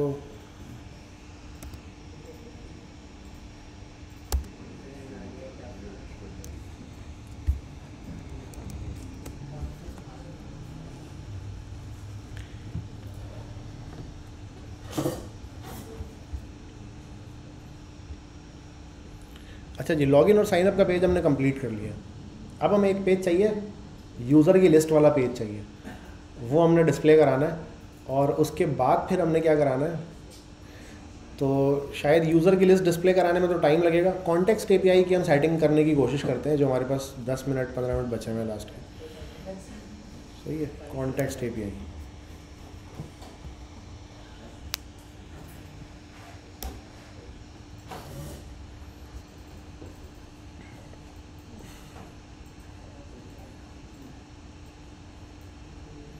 सही है। साइन अप पे ये काला होके जा रहा है और लॉगिन पे भी ये काला होके जा रहा है। बच्चा हमारा काला है। अच्छा कॉन्टेक्स्ट ए हमारी बिल्कुल वैसे ही सेट होगी ऑब्वियसली जैसे एक नॉर्मल ऐप में हुआ करती थी। तो यहाँ पे दो मेरी फाइलें थी ना कॉन्टेक्स्ट के नाम से पूरा एक फोल्डर था। तो इस पूरे फोल्डर को मैं कॉपी करूँगा। ये कौन सी ऐप से कर रहा हूँ मैं? चैट ऐप जो रियल टाइम चैट ऐप है ना वेब वाली। वहाँ से मैंने कॉपी किया।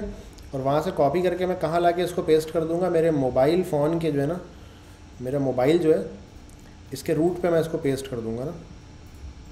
ठीक है कंपोनेंट्स है और जिस जिस रूट जिस लेवल पे app dot T S X की फ़ाइल पड़ी हुई है, इस रूट पे लाके उसको मैं पेस्ट कर दूँगा। तो ये कॉन्टेक्स्ट के नाम से मेरे पास चीज़ आ गई। अब ये कॉन्टेक्स्ट के नाम से जो चीज़ आई है, इसका एक पार्ट जो है मुझे कहाँ लगाना है? इंडेक्स डॉट जे में लगाना है, जो कि मेरा क्या है? मेरा प्रोवाइडर है उसको मैंने यहाँ पे लगाना है। सही है। और ये जो ऐप का कंपोनेंट उठा के जो है ना इसको यहाँ पे रजिस्टर किया हुआ है ऐसे। तो इसके साथ ही मुझे लगाना है वो। अम, क्या यहाँ पे लगाना सही रहेगा उसको? अगर हम उसको app dot T S X पे लगाएँ यहाँ।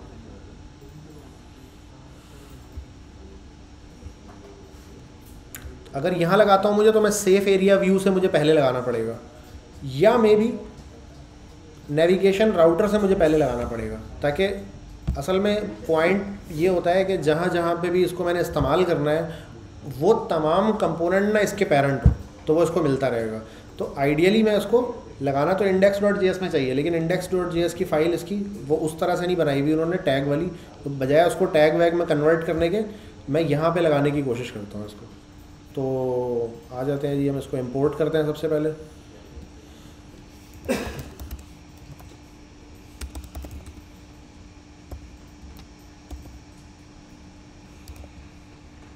सही है जी।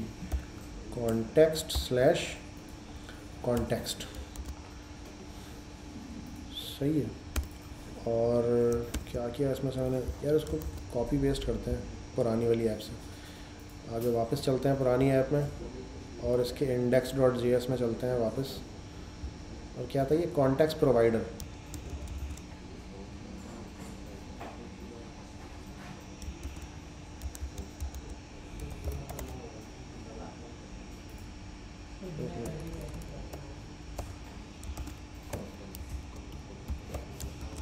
डिफ़ॉल्ट इंपोर्ट है ये। है हाँ डिफ़ॉल्ट इंपोर्ट है। और ये कॉन्टेक्स्ट प्रोवाइडर मैंने जाके नीचे लगा देना है, कहाँ पे भला? यहाँ लगा देता हूँ।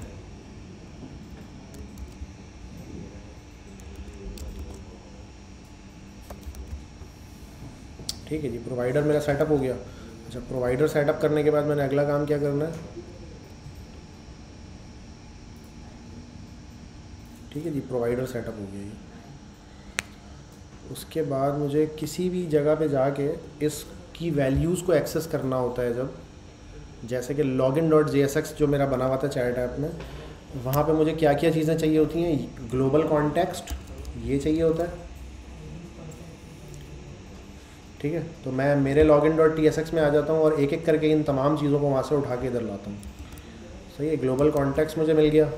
उसके अलावा मुझे यूज़ कॉन्टेक्स्ट चाहिए होता है। सही है यूज़ कॉन्टेक्स्ट में यहाँ से पकड़ लेता हूँ। सही है। तीसरी चीज़ मुझे क्या चाहिए होती है? ग्लोबल कॉन्टेक्स्ट अच्छा ये तो मैंने ले लिया ना ग्लोबल कॉन्टेक्स्ट ये ले लिया। और और मुझे चाहिए होता है बस ये वाली इनिशियलाइजेशन तो मैं यहाँ पे आता हूँ और यहाँ पे आके ये वाली इनिशियलाइजेशन कर देता हूँ। ठीक है? यूज़ कॉन्टेक्स लगा लिया मैंने। स्टेट और डिस्पैच मुझे दोनों यहाँ पे रेडी मिल रहे हैं। ठीक है? All destructured element are unused अच्छा यहाँ पे ये जो एरर मुझे दे रहा है, ये कौन दे रहा है? टाइप स्क्रिप्ट दे रहा है ऑब्वियसली तो यहाँ पे मुझे इसकी टाइपिंग क्या करनी पड़ेगी? है नहीं। सही है, जिससे ये बिल्कुल सेटमेंट हो जाएगा। क्या हुआ इसको? सही है its value is never use the prop state does not exist type string.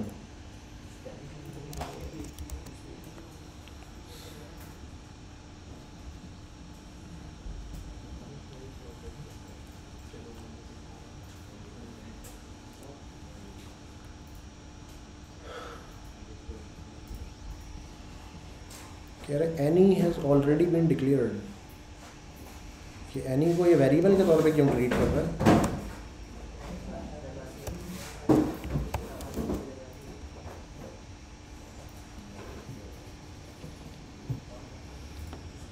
अच्छा ये असल में चक्कर, ये ग्लोबल कॉन्टेक्स जो है ना, इसको मिल नहीं रहा होगा।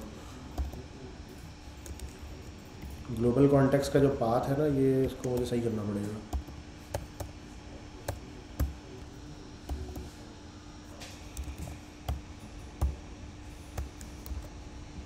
better? Mm -hmm.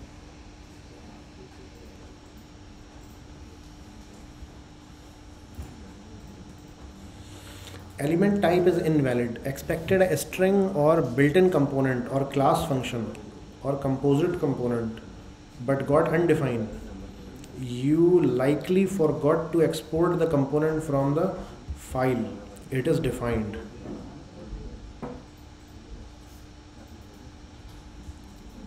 File it is defined context में चल के देखते हैं, यहाँ तो कोई नहीं प्रॉब्लम आ गई उसको। यहाँ तो सब सही है।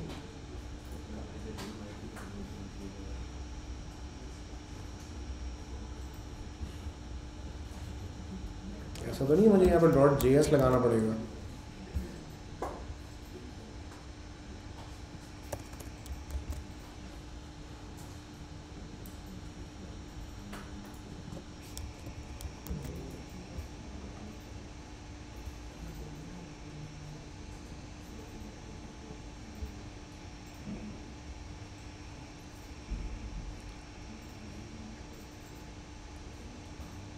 कॉन्टेक्स्ट प्रोवाइडर भी सही है बिल्कुल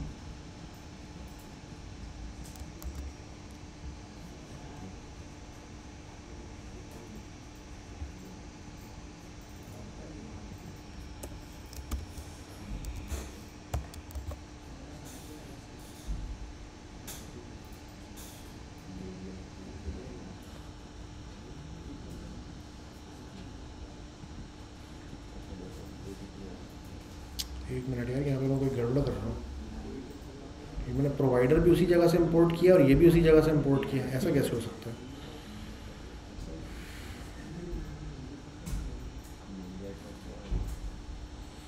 अच्छा ग्लोबल कॉन्टेक्स्ट मुझे डिफ़ॉल्ट करके इम्पोर्ट नहीं करना। सही है, बिल्कुल ओके है।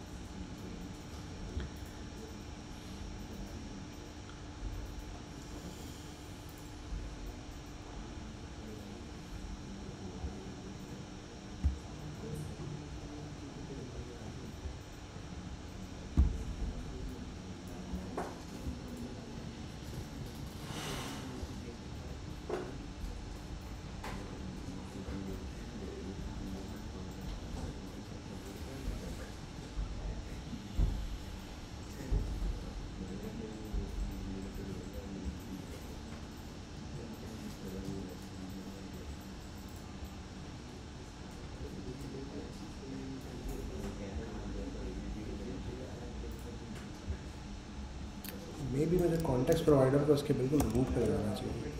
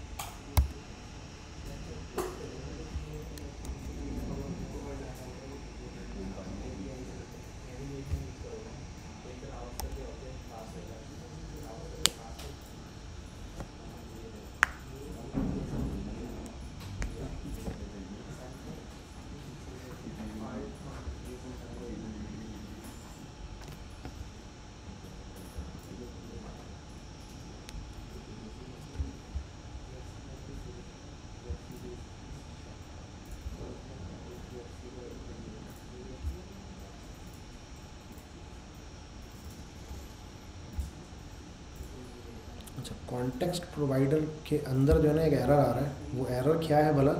वो एरर ये बेस यूआरएल के ऊपर जो मैंने विंडो डॉट ये लोकेशन वोकेशन लगाई है ना, ये उसको रिएक्ट नेटिव में मिल नहीं रहा। तो इस वजह से ये ब्रेक हो रहा है कोड तो इसको रोक देता हूँ मैं थोड़ी देर के लिए। अब बिल्कुल सही चल गया। बताओ यार। मैं बोल रहा हूँ, पता नहीं इसको क्या हो गया। खैर बढ़िया बन जाएगा मतलब करते करते ये विंडो डॉट लोकेशन इसको मिल रही नहीं थी ना। वो रिएक्ट नेटिव के इन्वायरमेंट में तो ज़ाहिर है विंडो भी नहीं है लोकेशन भी नहीं है। तो उसमें डिफरेंट तरीके से मिलेगी यही सेम चीज़। वेल तो ये प्रॉब्लम था जिसकी वजह से ये उसको मौत आ रही थी। अच्छा अभी मैं उसको सेट कर लिया बिल्कुल। अब इसको आगे ज़रा ओपन करके देखते हैं। सेट है बिल्कुल। अब ये क्या कह रहा है? इसको टाइप एनी है इसकी ना। तो ठीक है एनी हम उसको बता देते हैं एनी और ये भी एनी है। अच्छा अब ये प्रॉब्लम वो वाली दोबारा आई है कि log in dot T S X पे वो कह रहा है कि type any has already been declared तो एनी को ज़रा हटा के एक दफ़ा इसका एरर अच्छे से पढ़ लेते हैं कि ये क्या कह रहा है।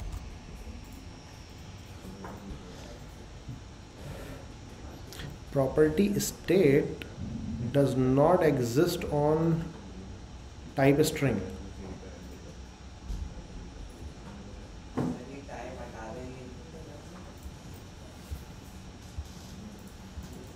नहीं, शुरू में, असल में चक्कर कुछ ऐसा होता है जो मैंने कॉन्टेक्स्ट की जो सेटिंग की हुई है, ये ग्लोबल कॉन्टेक्स्ट की, वो शुरू में स्ट्रिंग दे रहा है। वो दो आइटम नहीं दे रहा, दो ऑब्जेक्ट नहीं दे रहा, शुरू में वो स्ट्रिंग दे रहा है। तो चल के ज़रा हम अपने ग्लोबल कॉन्टेक्स्ट को देख लेते हैं कि वो क्या है। ग्लोबल कॉन्टेक्स्ट शुरू में क्या होता है मेरा?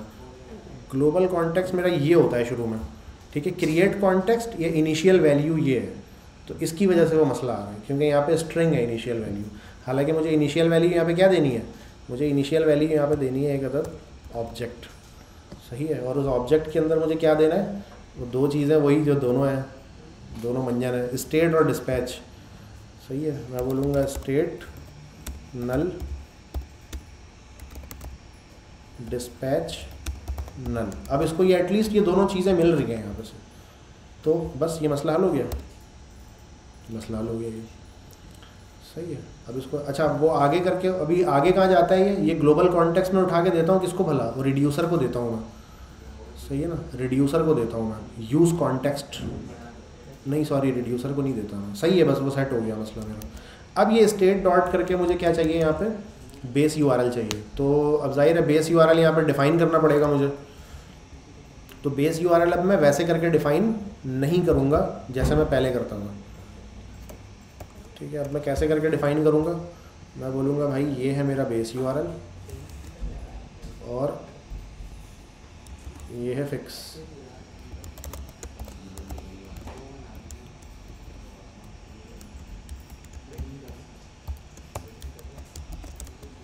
सही है बेस यूआरएल मैंने यहाँ पे बता दिया इसको।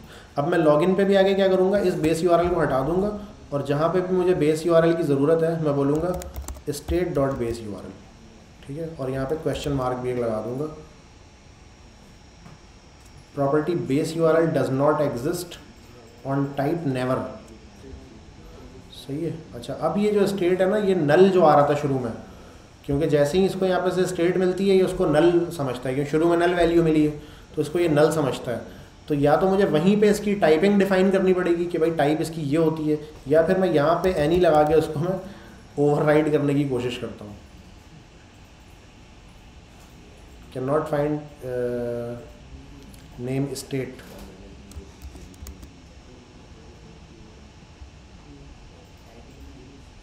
असल में शुरू में जो उसको नल मिलता है ना तो इसकी वजह से इसको नल सेट कर दे रही है कि भाई नल है इसके लिए मुझे अभी क्या करना पड़ेगा?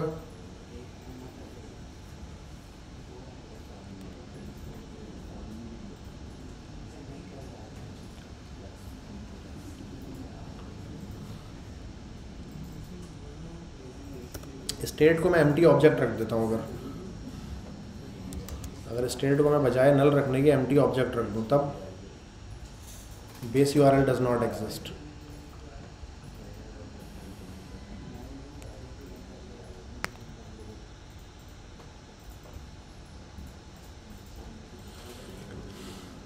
मुझे एक्चुअली क्या करना पड़ेगा? कि जो है ना, ये पूरा डेटा जो है ना, पूरा डेटा यहाँ पे उसको देना पड़ेगा। जब ही इसको समझ आएगा कि इसमें क्या क्या होता है और क्या क्या नहीं होता है। मैं इसको स्क्रॉल करके थोड़ा सा नीचे लेके जाता हूँ और नीचे ले जाके ना ये पूरा डेटा ही इसको मैं यहाँ पे पास कर देता हूँ। स्टेट के अंदर ये पूरा डेटा मैंने उसको पास कर दिया। ताकि इसको सब पता चल जाए कि अच्छा इसमें क्या क्या हो सकता है इनिशियल वैल्यू के तौर पर ठीक है तो अब इसको बेस यू मिलना शुरू हो गया। अच्छा अब डिस्पैच का भी ये मसला आएगा अल्टीमेटली सही है, क्योंकि डिस्पैच को मैंने नल दिया हुआ है यहाँ पे तो यहाँ पे भी मुझे पूरा डिस्पैच ये देना पड़ेगा। जो ये पूरा का पूरा डिस्पैच है ना मेरे पास, जो स्टेट और डिस्पैच करके मैं बाद में देता हूँ यहाँ वो इसको मुझे यहीं देना पड़ेगा। ठीक है अब मसला ये है कि डिस्पैच तो मैंने बनाया ही बाद में, इसको मैं पहले कैसे एक्सपोर्ट करा दूँ तो फिर मुझे इसको ले जाके लास्ट में करना पड़ेगा शायद, इसको मुझे बिल्कुल लास्ट में करना पड़ेगा यहाँ। मे बी सही है, और लास्ट में करने के साथ साथ मुझे ये दोबारा करना पड़ेगा क्योंकि ये इसके अंदर है ना फिर तो। वेल well, अभी देखते हैं डिस्पैच करते हुए मुझे वो क्या एरर देता है। अभी तो खैर बेस यूआरएल को मैं सेट कर लेता हूँ यहाँ से। और बेस यूआरएल मैंने किस पे सेट कर दिया? लॉगिन पे सेट कर दिया और अब यही सेम चीज़ मैंने साइनअप पे भी करनी है। सही है। यूज़ कॉन्टेक्स्ट यूज़ कॉन्टेक्स्ट हो गया। अगला काम। ग्लोबल कॉन्टेक्स्ट ग्लोबल कॉन्टेक्स्ट हो गया। तीसरा काम ये हो गया।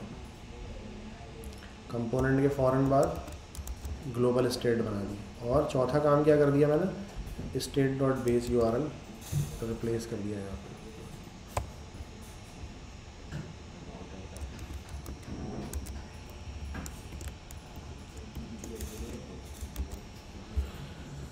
हाँ।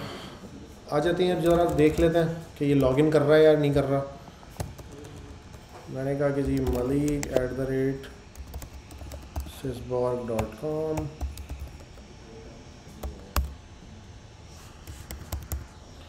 सही है जी। पॉसिबल रिजेक्शन वाई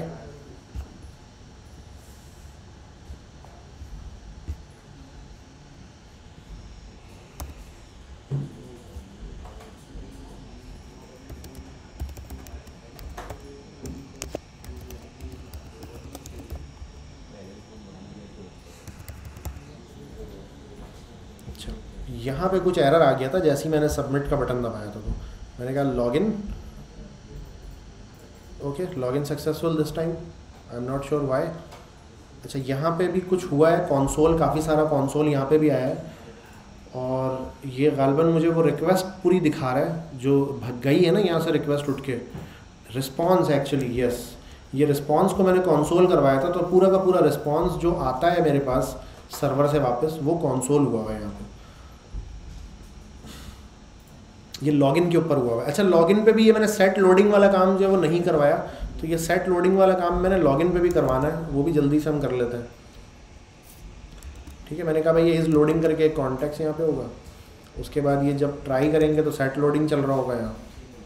सही है ट्राई से पहले इसको सेट लोडिंग को ट्रू करवा दिया मैंने। और जैसे ही वापस आएगा तो सेट लोडिंग फॉल्स हो जाएगा।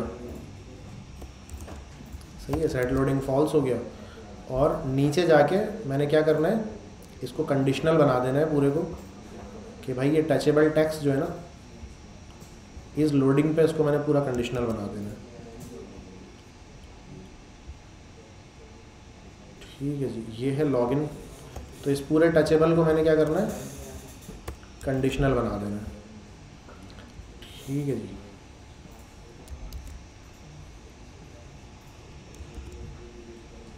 ठीक है एक्टिविटी इंडिकेटर ऊपर से मैंने इंपोर्ट कर लेना है जाके। सही है तो ये सेम चीज़ मैंने क्या कर दिया? लॉगिन पे भी अप्लाई कर दिया। अब मैं यहाँ पे कोई रैंडम ईमेल लिखता हूँ और पासवर्ड लिखता हूँ उसके बाद में कुछ, और लॉगिन का बटन जैसे ही दबाता हूँ तो ये लोडर आ जाता है। तो ये गायब क्यों नहीं हुआ? अच्छा एरर पे मैंने उसको फॉल्स नहीं करवाया था। ठीक है एरर पे मैंने फॉल्स करवा दिया इसको। मैंने कहा, भाई साइनअप पे जाओ और वापस जो है ना वो आप लॉगिन पे आओ। ठीक है, यहाँ पे रैंडम ईमेल लिखो पासवर्ड लिखो लो लॉडिंग ठीक है सेट हो गया बिल्कुल। मेरा लोडर भी इस पर चल गया।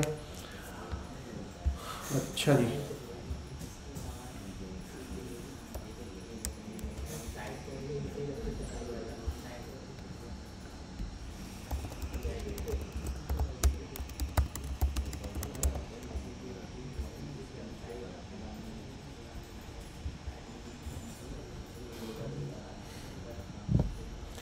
अच्छा जी तो हम आज की क्लास को यहीं तक रखते हैं।